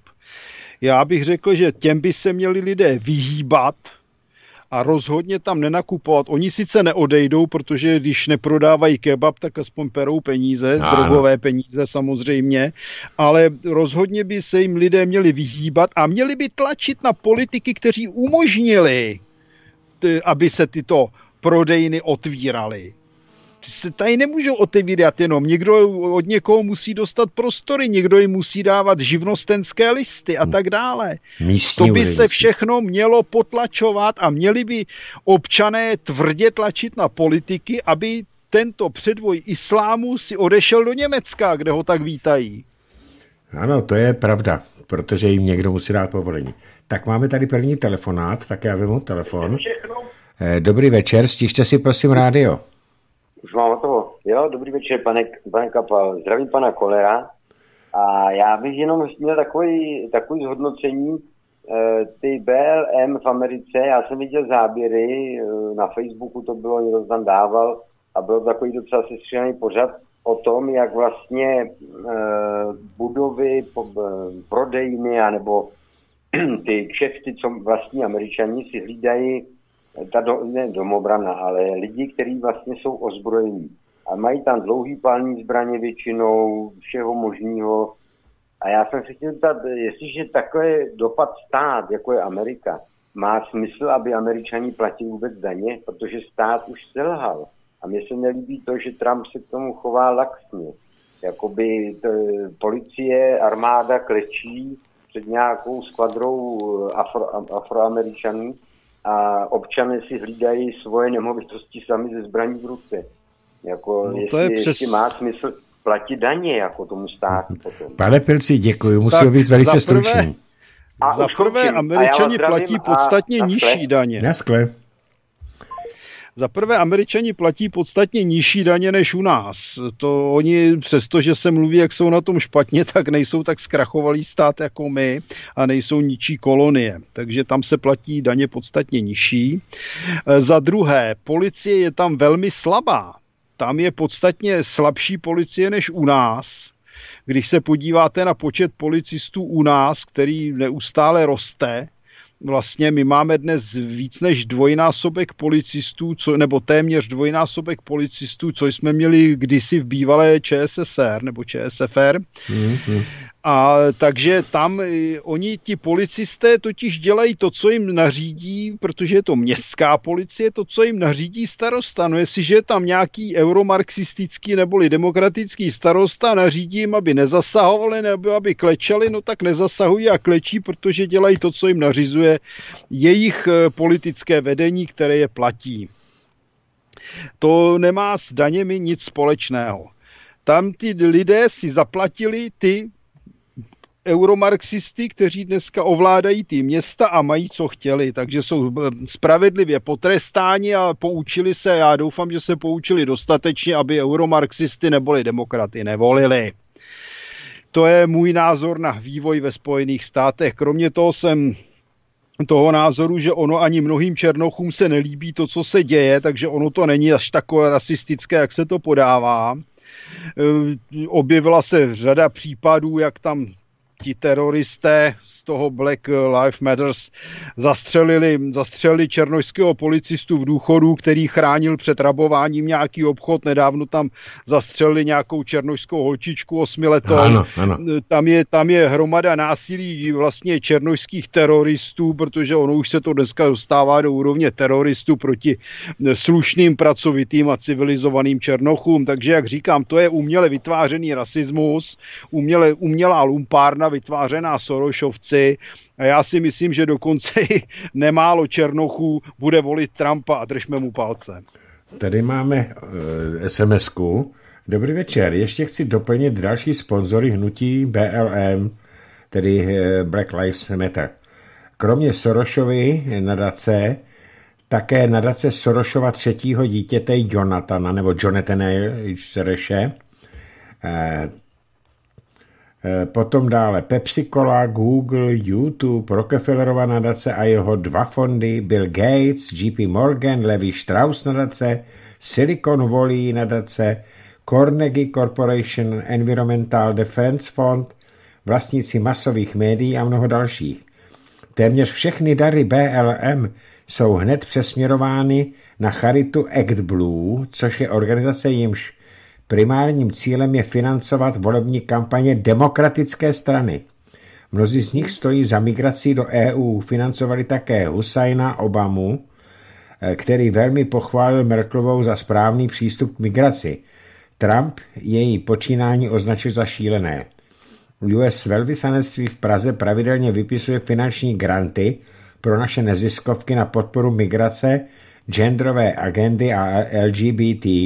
Zdraví Karel rozehnal. Tak. Z toho je vidět, že eh, velvyslanectví Spojených států dělá to, co dělat nemá, to znamená vněšuje se do politiky eh, hostitelské země to by, na to by měl někdo reagovat. Ovšem slouha Petříček bych řekl, že tam maximálně chodí, aby klekl na kolena a líbal zadek americkému velvyslanci. No a já se... Kdyby nám tady ty černochy rovnou vozil. Já se divím, že ještě není bez vlasu a nema, ne, když tam jde na tu americkou ambasádu, takže si tu hlavu e, nenamastí.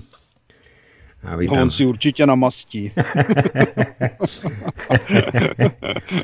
Stačí si připomenout Babiše, jak líbal ruku Albrightu pra, pravé, ano. pravé ruce Soroše pro Evropu. Ano. Další jsem Taky si nemusel mastit hlavu. Eh, dobrý večer. U Xavera byl včera čerstvý člen ODS 18-letý maturant a chvilkař. Byl hrozně hloupý a řeč končil Havlovou frází Pravda a láska. Moc jsem se pobavila. Hezký večer a díky. Jitka, východní Čechy.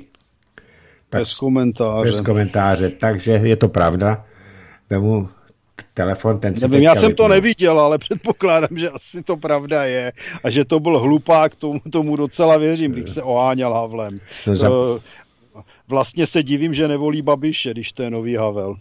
No a, a co druhou... dělá tedy v ODS, která se tváří jako antibabišovská. Já musím říct, že jako to, ta snaha neustále nám vnucovat Havla, ta je čím dál ubožejší. Tady by se měla pražská Havlerka skutečně probrat, protože já jsem toho názoru, že Havel byl nejhorší český politik snad ve 20. století.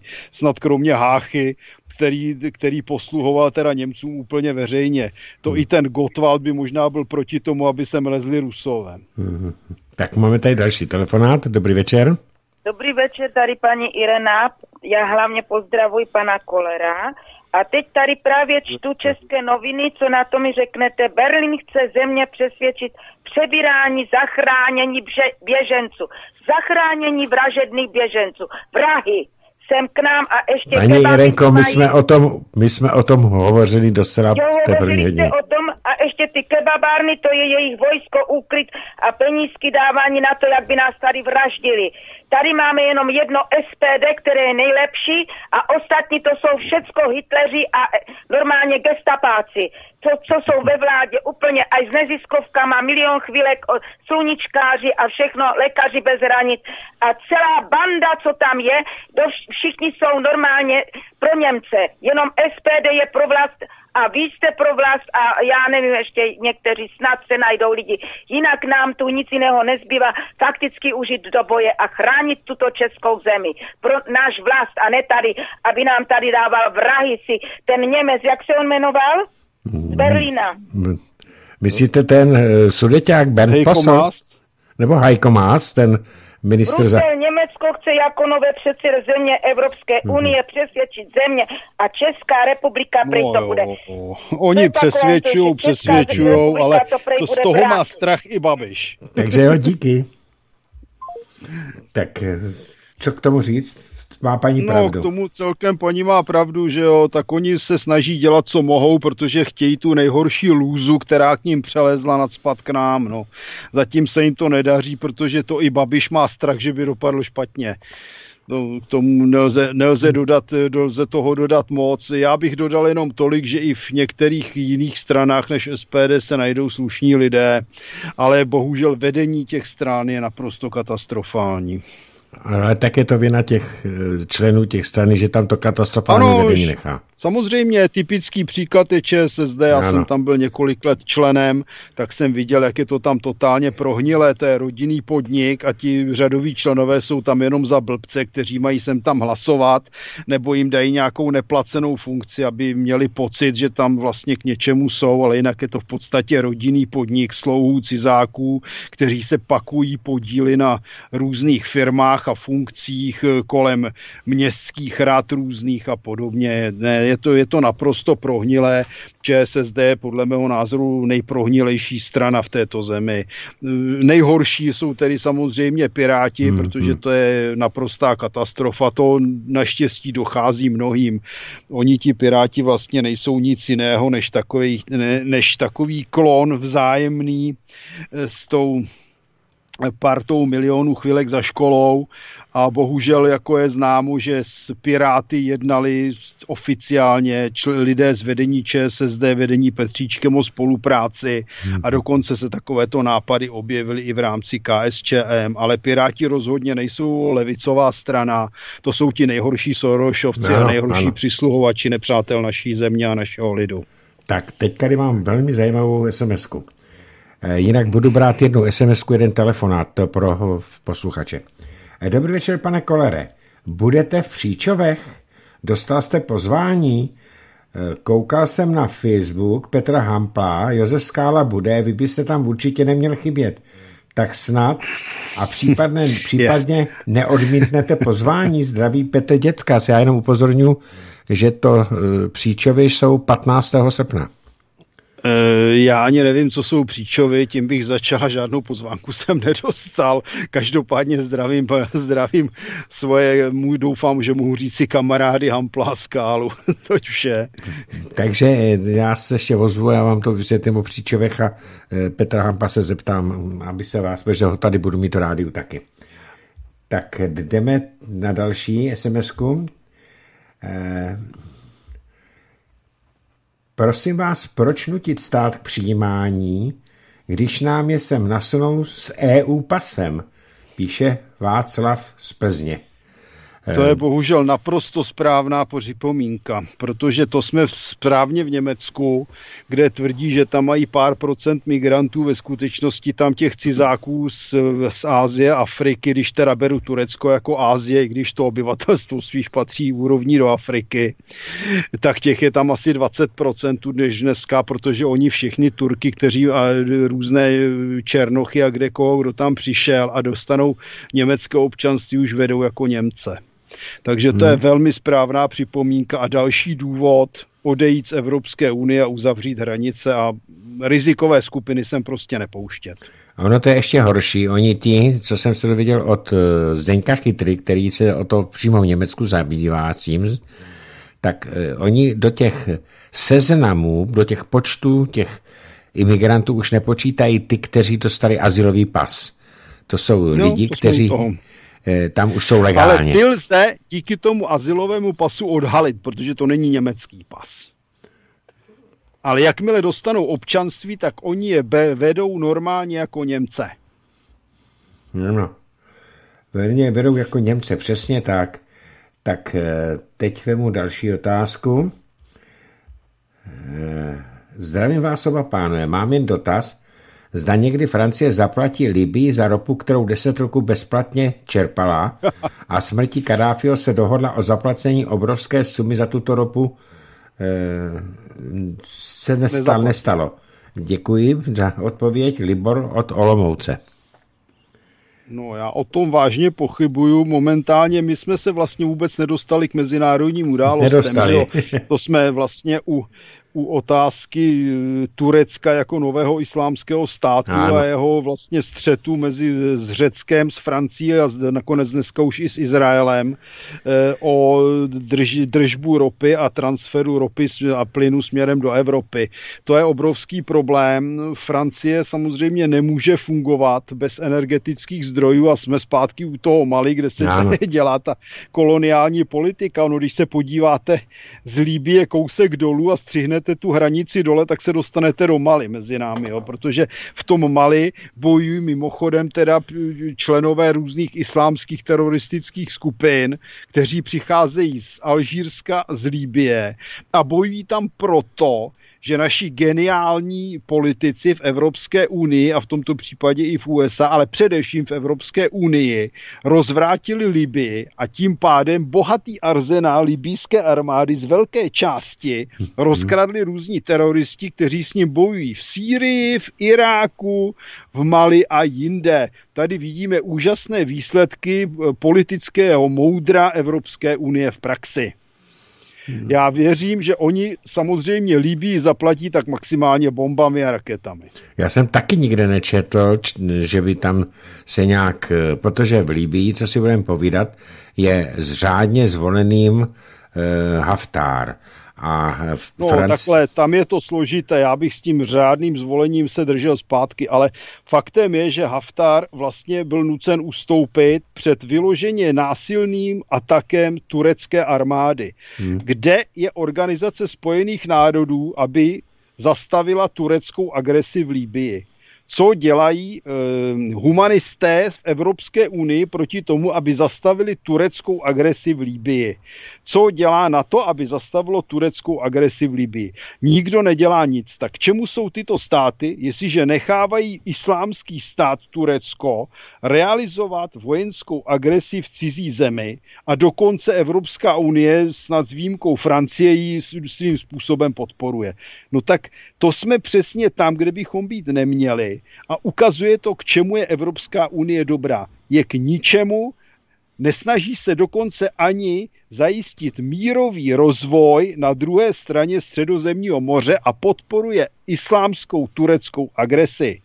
Ale horší je ještě to, že Evropská unie nebrání jeden ze svých členských států proti agresi nečlenského státu, tedy Turecka.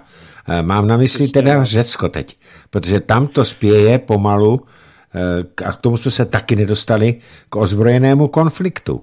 Protože řekové tak já řekli, jsem že... zmínil, že tam ten střet je a je to pravda a vlastně to turecké obsazení zarazil až prezident Trump tím, že zavolal Erdoganovi a patrně mu dostatečně vyhrozil. Ano, ano. Takže, Erdo, takže eh, turecká banda musela z řeckého ostrova nebo ostrovu otáhnout.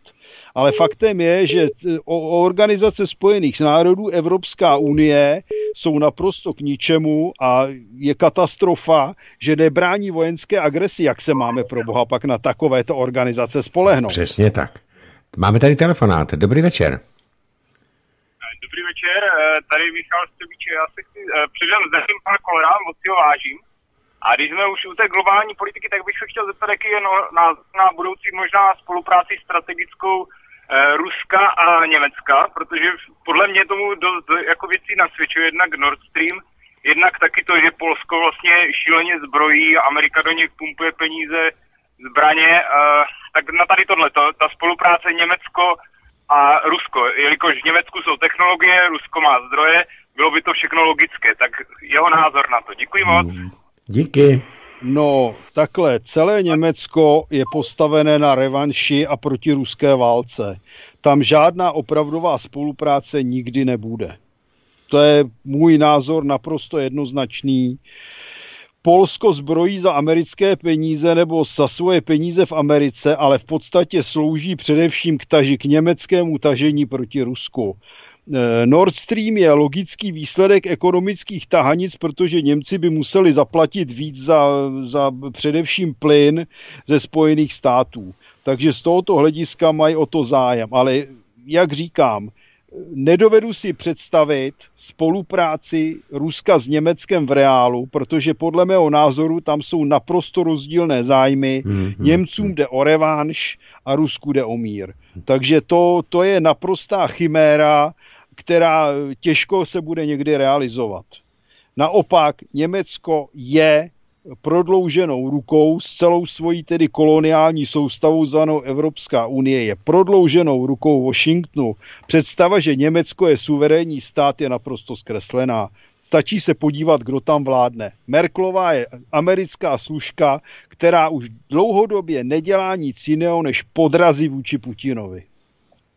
A viděli jsme to už několikrát. Další sms -ka. Dobrý večer, pánové.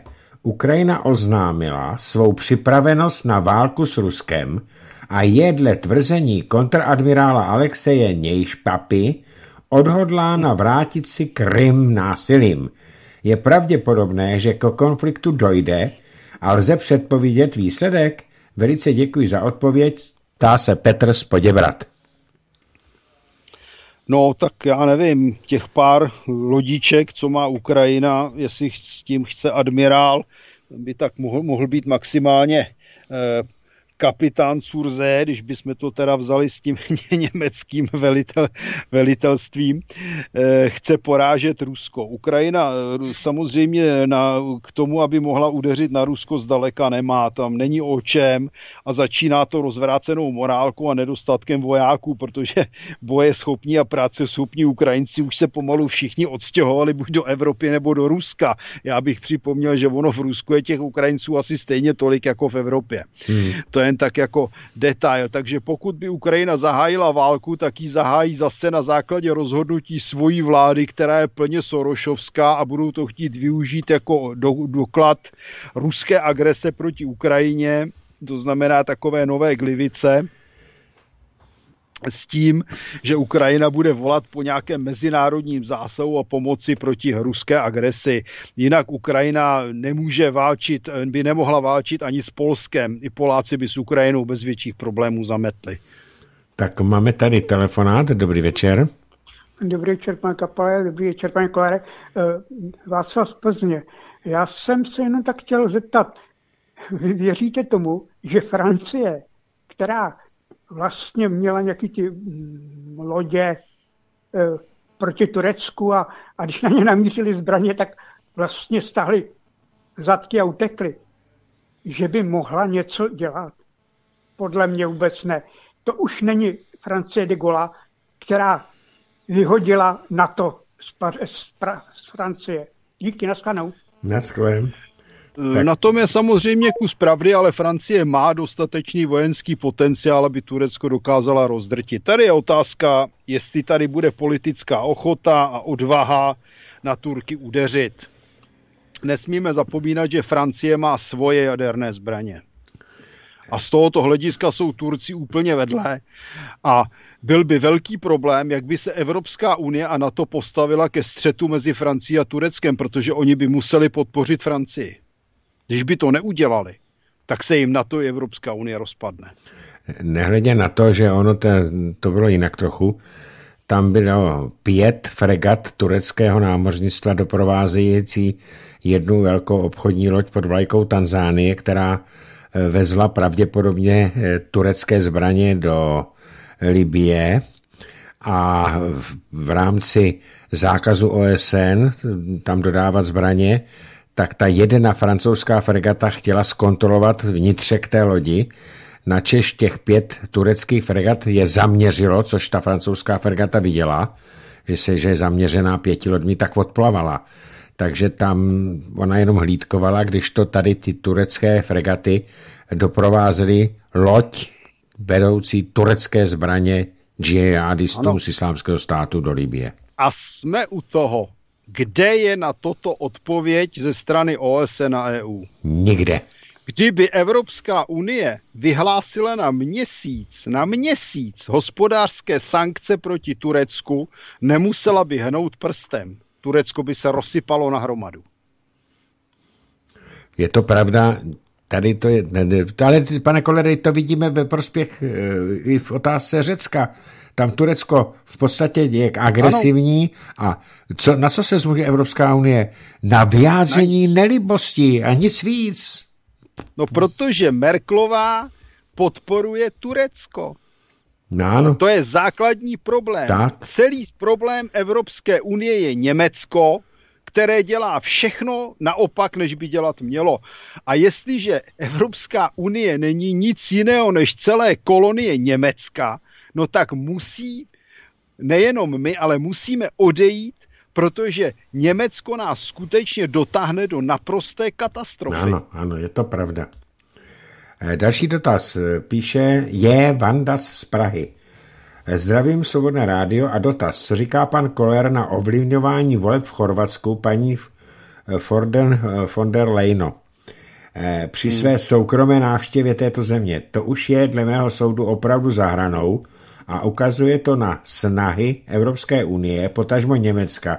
Děkuji a držím palce Svobodnému rádiu, píše pan J. Vandas. No, k tomu není co dodat. Já myslím, že se s panem Vandasem známe dokonce. Ale já bych doplnil to není tom, tolik, to... no tak to je přesně ta politika, kterou vidíme. Oni prosazují svoje zájmy naprosto bez studu v zahraničí. Je úplně jedno, jestli je to Chorvatsko, Ukrajina nebo Řecko. To jsou stále německé zájmy. Problémem bezpečnosti a budoucnosti Evropy je Německo. Ano. Německo. Německo je jeho... bohužel po třetí za posledních zhruba plus minus 100 let destruktivní silou hmm. v Evropě. Neříkám, že Němci, já bych řekl, že Němcům hrůzou stávají vlasy mnohým na hlavě. Ale Německo skutečně vede Evropu do katastrofy. A je to po třetí. A jestliže se naši politici nezmůžou na nic jiného, než les do německého zadku, tak to odnesou s náma. Tak já bych jenom dodal, že jestli jste myslel, pane Kolere, Tomáše Vandase, předsedu dělnické stany, tak tohle to je J. Vandas. To ne, toho neznám, toho neznám osobně. Aha, tak takhle. Já zase neznám pana J. Vandase.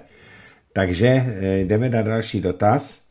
Eh, no já jenom dodám ještě k tomu, ono to bylo to od té von der Leyen tak směšné a trapné, že Tady se Evropská hloupá, komise musela omluvit. Je hloupá jistě. To je, to je známý, když jsme viděli, jak, co udělala s německým Bundeswehrem, že? Tak další dotaz. Jen co to tady. Dobrý večer. Obávám se, že průměrný američan si už na války vedené daleko od něj zvykl, ale není zvyklý na současný bordel doma, který si spojuje s Trumpem. Proč se obávám, že volby nevyhraje? Jen mě děsí, že Deep State nemá strach z jaderného konfliktu. Zdraví Vicky. Nemá. to je přesně to, co mnozí nechtějí pochopit. Slyšíme se? Ano, poslouchám pozorně.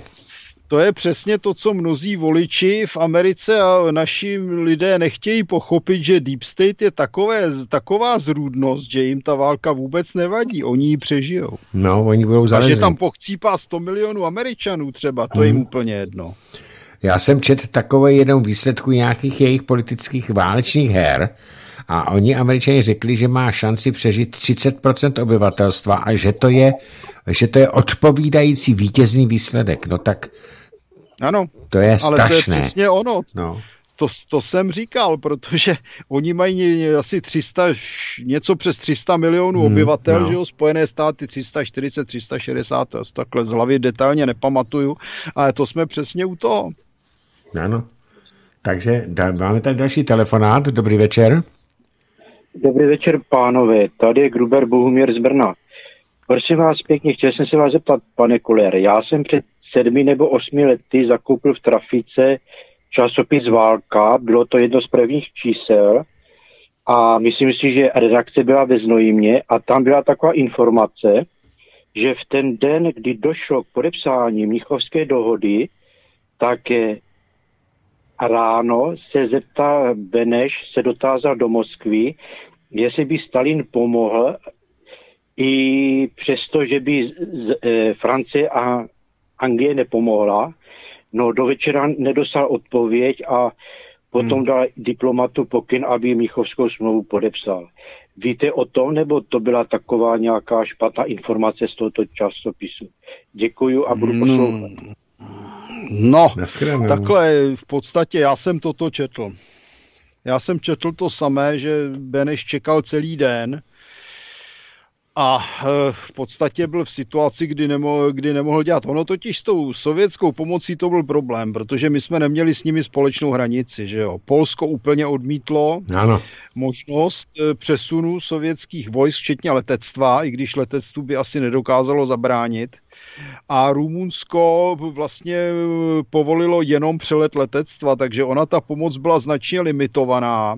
A jak Beneš, tak Stalin dobře věděli, protože Goebbels už tehdy řval o tom, že Československo je sovětská letadlová loď, že přesně tohle by se Hitlerovi hodilo, aby mohl začít s vojenskou agresí a dokonce by ho v té agresi podpořili i Británie a Francie, protože by z toho udělali válku proti komunismu. Přesně tak. Ano, je to tak. Já jsem to četl detailně popsáno podle dokumentů ve skvělé knize eh, Bůh synergie, kde se o tom taky píše, ale jsou tam i jmenované dokumenty, které to říkají.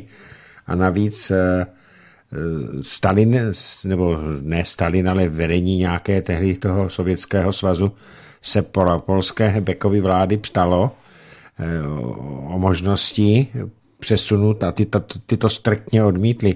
A navíc, pane Kolere, eh, přeci prohlásil, eh, myslím, že to byl Neville Chamberlain, že pokud by Československo se chtělo bránit, takže bude příčinou třetí, teda druhé světové války právě Československo a toho se Beneš moc bál. Takhle nějak to bylo, nevím, jestli to řekl Chamberlain, to bych lhal, ale takhle nějak to v podstatě bylo, bylo reálně, takže ta sovětská pomoc, i kdyby byla reálná, tak eh, by nevedla k ničemu pozitivnímu. Ne, nevedla.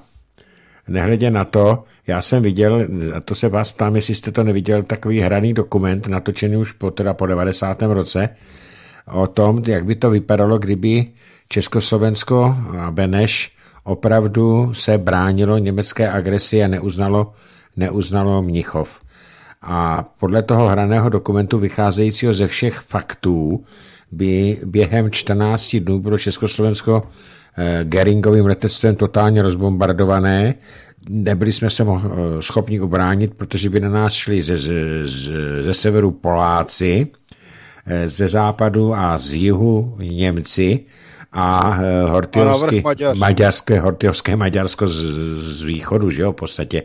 Takže ty řeči o tom, a to se vás ptám, jestli si máte stejný názor, že jsme se nemohli bránit naprosto z vojenského hlediska byla obrana nereálna. Ještě, jsme, ještě jste neuvedl drobný detail, že přes 20% vojáků tvořili Němci. Ano, ano. A třeba tvořili velkou část obsluh dělostřelectva a z nich mnozí vůbec nenastoupili v rámci mobilizace. Ono se vždycky při v té československé propagandě mluví, jak nadšeně všichni šli do té mobilizace, jak byli ochotni bojovat za republiku, ale skutečnost je taková, že Němci nenastoupili a utekli za hranice. Takže že my jsme neměli za prvé eh, doplněné mobilizační stavy armády, které nebylo už čím nahradit. A kromě toho, jak bylo správně řečeno, Německo mělo výraznou převahu v eh, technologické úrovni letadel, ano. nehledě na to, že my jsme ani neměli plné stavy pilotů. Hmm. O tom se taky moc nemluví. Ano, neměli. Navíc, to, to jsem taky potom měl pořád na materiály, když zvolali částečnou mobilizaci tehdy, když se vypsala, to bylo jen pro některé ročníky, tak tam to zahrnovalo 100 tisíc německých eh, těch občanů České Československa, ale, ale byla to částečná mobilizace. A 40 tisíc z nich nepřišlo. Jistě, to je no. přesně ono, co jsem no. říkal. Prostě Němci nenastoupili, nenastoupili, takže naše armáda nejen, že by nebyla doplněna mobilizačně o některé vojáky, jak říkám, Němců bylo třeba hodně u toho dělostřelectva, no ale navíc ti Němci by přišli z druhé strany. Tak eh, tady mám sms další. Dobrý večer, pánové. Ne, mám tři dotazy. Za prvé, nezapomněli jste na Petru Buskovou, to když jsme se bavili o političkách. Petra Busková no. byla příšerná politička. Já jsem ji znal osobně. No, Petra Busková, já ji osobně neznal, ale řekl bych, že to byla první socialistická likvidátorka českého školství. Školství, ano, přesně tak. Ano. ano. Potom nastoupili další, že jsme opět tu Valachové a Marxové, Engelsové. Ano, že? ano, ano. Druhá otázka. Sluníčkářským kandidátem na prezidenta bude podle mě Michal Kocáb a jeho propagací na svých pořadech a časopisech začal Jaromír Soukup. Co vy na to? pane Kolere. on, on to neví... No dobře, no, tak už jsme se dlouho nezasmáli. On to ale nevyvrátil, ten kocáb, to je ne v tom to největší sranda, jo. Ale tak to je, no to ukazuje jenom, jak je hloupý. Je, to řekneme tak. na rovinu. Eh, Jinak podle mne, Jestli si skutečně zvolí tohoto kandidáta, Ale- tak to bude obveselení. eh, to je to samé, jako kdyby kandidoval ten brankář, Ježíš Maria, mi to vypadlo, Hašek. Já nevím, jak se, No, ten jmenuje, jde do Turecka. jak se jmenuje křesním jménem, ten, ten brankář. Michal. Ne, Michal Hašek, to je politik, ale ten brankář v Nagánu byl zlatý. Jo, Eh, Teď mě to úplně Ježiš, já nevím, ne, Mě mě to to, vypadlo. osobně nezajímá. Jo. Ale podle Ale- mě, Eh, Pro boha, to jsme přesně u toho, že oni nedokážou najít osobnost a vyberou si komedianta. no, no, no, no, no, no, no. Jako ano, prosím, více komediantů bude větší obveselení. Jo, to je úplně jedno, jestli to bude komediant v uniformě Pavel nebo eh, komediant bez uniformy Kocáb nebo nějaký jiný komik typu Drahoše, že jako jo, to může zase stahovat králíky. Jako já, když vidím tu přehlídku kandidátů na prezidenta, no to je ukázka toho, kam jsme to za 30 let dopracovali. Ano. To jsme zase u toho, že ve srovnání s těmito šašky i Gottwald byl, byl, byl, byl osobnost. Ano. Opravdu, to, to, to, to, to, to je prostě hrůza, co, co nám tady předvádějí, jaké lidi, a to si vzpomenu třeba na Albrightovou, že? Hmm. No, to taky Václav Klaus, Havel říkal. Švejnar, Švejnar, no. Albrightova. Když se podíváte na tu přehlídku těch lidí, které nám někdo vnucoval Ježiš, jak jako prezidenty, no to je něco šíleného. Jak se jmenoval ten, říkali mu lidi Avatar, ten, ten, ten modrej, takový potetovaný. Jo, profesor, no No, teda no, no. nebyl blbej úplně, No, teda, když to řeknu na ale rovinu. si ale představit- jako, to, to si nedovedu představit, že bychom měli prezidenta, který vypadá jako maorský válečník. No. To, to je, ale to je přesně ono. To, to je komiks, to je šaškárna, to skutečně prezident eh, národa, který se umí akorát nalejvat pivem a hlasovat pro Babiše. Tak a tady ještě píše Jirka, že podle něj bude jediným reálným kandidátem Václav Klaus starší. Eh, Já si myslím, že Václav Klaus starší eh, nebude kandidovat. To si osobně myslím já, protože už přece jenom bude mít dost vysoký věk. Ale obávám se, že hlavním kandidátem sluníčkářským, pane Kolere, bude ten generál Pavel, Petr Pavel. Ten, co vyhrožuje No, ale Rusku. to, je, to, je, to, to ještě docela ujde, protože Pavel je omezený, takže, se, takže No, no. se dokáže schodit sám. Dominik myslím, Hašek se jmenoval Pavel. Pavel bude mít problém, jako, ale na druhou stranu, jako když člověk vidí ty figurky, které se nabízejí, tak ono to bude jeden za 18, druhý za 20 bez dvou, samá nula. Bude to mít, bude to mít ty vlastenecké strany těžký vybrat člověka, eh, opravdu osobnost, který bude stát pevně na svých zásadách a nezradí. Eh, Bude to těžké. A tady jsem dostal eh, SMS-ku. Ale hlavně, to není jenom o tom, že bude stát na svých zásadách, nemůže to být průměrný tupec, Nemůže to který být tupec. Přes, rozhovor. ano, přesně někde. tak. To je přesně další tak. obrovský problém, protože jako to jsme u toho omezeného Pavla, jako na toho, když vletí člověk na úrovni Zemana, tak ho použije jako toaletní papír. Ale já takových lidí znám víc. Eh, Ten, ten kandidát na prezidenta, ten brankář se jmenuje Dominik. Teďka Jo, mi tady jasně, no. napsali lidi SMS-ku. Tak jdeme dál na dotazy. Eh, Tak eh, tady se mi to otevřelo. Dobrý den, chtěl bych se pana Kolera zeptat, zda má nějaké informace o tom, jaké jsou zámysly s novými vrtulníky, zda jich Česká republika bude následně kupovat více a na co jim vlastně bude. Děkuji, Michal Střince. No tak já nevím, jaké mají zámysly, podle mě je to špatný nákup. Já jsem o tom let kde psal, mluvili o tom jiní, takže to není jenom můj názor. To jsou vyhozené peníze za špatný materiál. Jestli jich budeme nakupovat víc, tak to bude víc vyhozených peněz za špatný materiál. A podle mého názoru, když už zbrojíme, tak bychom měli kupovat lepší materiál a když už zbrojíme, tak bychom měli, i když v případě vrtulníků toto uplatit nelze, nevyrábíme je, tak bychom měli preferovat české výrobky českých zbrojařských firm. Na těch amerických vrtulnících UH-1Y a H1Z není českého ani ťuk. A o tom jsme se bavili několikrát. Tak mám tady další dotaz na vás. Dobrý večer všem. Milan Stěrlicka.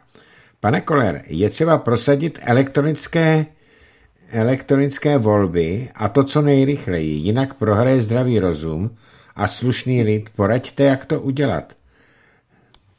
Já bych řekl, že elektronické volby jdou sfalšovat jako každé jiné. A já bych řekl, že velice lehce. že Pirátská parta v Praze nastartovala program za půl miliardy na téma umělá inteligence a kosmos. A hned tam namenovali nějakého makovce jako šéfa, který vůbec to, v, tomto, v těchto oborech nic neví. Takže tím to začíná velkým tunelem, bude se mluvit o elektronických volbách, o elektronické státní správě, přitom Bartoš sám není žádný odborník elektronický, když se tak tváří. Hmm. A výsledný efekt bude úplně špatný. Podle mého názoru by se měly zrušit všechny korespondenční volby, prostě přijdeš nebo nepřijdeš a hotovo. To, jestli budeme hlasovat na počítači nebo ne, úplně jedno. Já se obávám naopak, že hlasování na počítači by na někteří starší občané, kteří třeba mají rozum, nezvládli. Takže pěkně klasicky přijď k volbám. Přesně tak. Jestliže člověk to myslí s touhle zemí dobře, tak by ten zadek jednou za čas mohl zjí, zvednout a do té volební místnosti si dojít. Ono, taková procházka taky je přece dobrá pro zdraví, ne, pane Kolere? Ano, a provětrá to mozek. Třeba ano. by někteří přišli na to, že jsou i jiné možnosti než Babiš versus Fiala Kalousek. Ano, tak mám tady další sms -ku. Dobrý večer, pánové. Pan Koler je borec a velká jednička s hvězdičkou a sedmi vykřičníky. Píše Michal z Brna. ano, děkuji. Já taky děkuji, pane Michal, já si to myslím taky. Tak eh, máme tady ještě jednu sms -ku. a ta je dlouhatánská, já si ji nechám na příště, protože to je, to, to, to, bys, to je na dlouho, to je spíš taková analýza, jak, co se týče, co se týče eventuálního toho střetu, eh, střetu Spojených států Evropské unie s Ruskem, ale to je opravdu na dlouho, takže to bychom to si by nechali. na několik pořadů. No ano, to bychom si nechali na příště a uděláme to jako jeden z, pořad, z nosných pořadů. Já se posluchači, který mi to poslal, omlouvám, protože no, máme po, devátou. Pozvěte si nějakého odborníka z ministerstva obrany. Ta, no, to, to jsou odborníci tam. Já se podívám Třeba ještě... Petnara, nebo Stropnického, nebo Šlechtovou. Ježíš Maria, tady toho je. Eh, já se omlouvám všem, že jsme to nestačili. Eh, zdravím oba aktéry a teď kam se mi to ztratilo. a jsme u té elektroniky no, ve volbách. tak tady mám jinou. Dobrý večer, jen krátce. Kupoval by pan Koler velkokapacitní zásobníky, například více jak 20 nábojníků, nábojů, do legálně držených zbraní, dokud je to ještě nějak možné, díky Jirka Spardovic. Ano. Velmi krátká odpověď. Tak, abychom toho, co udělali co nejvíc, tak jdeme na další. Eh, jo, tady to je... Tak tady mi přišlo moc SMSek eh, s tím Dominikem. Eh, tady. Jen aby nám nerozhodili sandám válečkem Evenem, píše Petr Dětkas. Dětkas. Lidi by ho asi hodně volili. No to bychom to chytli. Marka Evena. Ježíš Maria dalšího komedianta. No. Co pak jsou lidi úplně pitomí? No, já nevím. Oni si vymýšlejí tyhle ty... Pamatujete na to, eh, když se ptali Karla Gota, jestli by nechtěl kandidovat a on řekl, prosím vás, já nejsem politik, co bych tam dělal. No jo, no, protože on byl hvězda, nikoli v komediant. A byl moudrej. Tak. A to tyhle ty komedianti nejsou, většinou. No, tak oni většinou trpí, trpí e, velkou, řekl bych, sebestředností, k tomu by se eh, dala přidat nafoukanost a samozřejmě prodejnost, protože komedianti bývají z velké části prodejní, čest výjimkám. Jako rozhodně představa, představa eh, i dobrého, řekněme, herce, jako je, je Eben, jako prezidenta, to je výsměch státu. My ano. nepotřebujeme chodící magnetofon, který bude vykládat to, co mu nadiktují někde za rohem Serešovci. To přesně tenhle typ byl Stropnický, který kdysi v Portugalsku, myslím, že dělal velvyslance, nevím, jak taky mohl komedian dělat velvyslance, oslnil úžasným projevem. No proč? Protože on se to jako s natrénovanou hereckou pamětí naučil portugalsky, jinak hmm. ani nevěděl, co říká. Co říká. Jo, a takovéhle lidi opravdu nepotřebujeme. Já myslím, že Havel byl dostatečná katastrofa a už by to mohl, komedianti mohli stačit. stačit. Tak já si myslím, že to je úplně nejlepší tečka, jakou dnešní pořad, pane Kolere, mohl mít. A příště, až se budeme povídat, tak se opravdu můžeme e, trošku víc e, a důkladněji, teda vy, jako odborník, zamyslet tím eventuálním střetem e, NATO, USA a Ruská federace, tak jak se ptal. Já bych řekl, že to bude takový problém, že ani už nebude co řešit. No. Pak už můžeme akorát poděkovat všem, kteří nemysleli a lezli do zadku cizáckým zájmům. Hmm. Já, když jsem v roce 1990 se stál na straně občanského fóra a spolupracoval jsem s generálem nedávno zemřelým, tedy Radovanem Procházkou, což byl teda velmi divný typ. Hmm. Spolupracoval jsem s generálem Karlem Pezlem, což byl člověk, a teda ještě stále je, doufám, opravdu moudrý a opravdu mu to pálilo a doufám, že i pálí. Tak jsem vždycky navrhoval, že by tenhle stát měl být, měl být neutrální.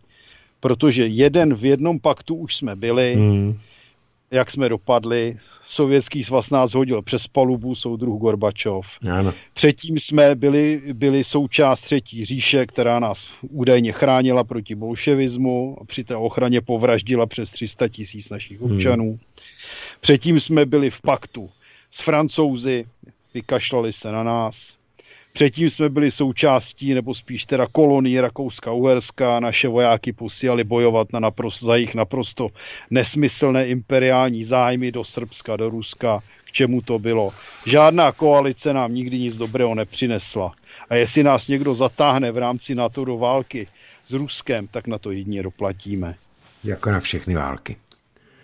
Je Jistě. to tak, ano. Pane Kolere, díky, že jste si do nás udělal čas, bylo to zase velmi zajímavé poslouchání. Já vám přeju, abyste eh, psal stále ty krásné ostré články, které píšete a aby se vám všechno, co děláte, dařilo. No a jinak přeju hezký léto. Já vám. Ale... Vše, přeju všem hezké a zdravé léto, ano. protože koronavirus ještě přijde, i když je to především velký podfuk, který pomáhá dělat různé svinstva, zlodějiny typu podpory rozkradených aerolinek, vyplácení podpor cizáckým firmám, rozdávání peněz cizákům a tak dále a tak dále. A to všechno platíme jako blbci my, daňoví poplatníci. Tak, tak. Tak, pane kolede, dobrou noc. Dobrou noc všem. Vážení přátelé, to bylo dnešní povídání se skvělým, se skvělým panem analytikem Martinem Kolerem. Já se s vámi loučím i ze studia Beta.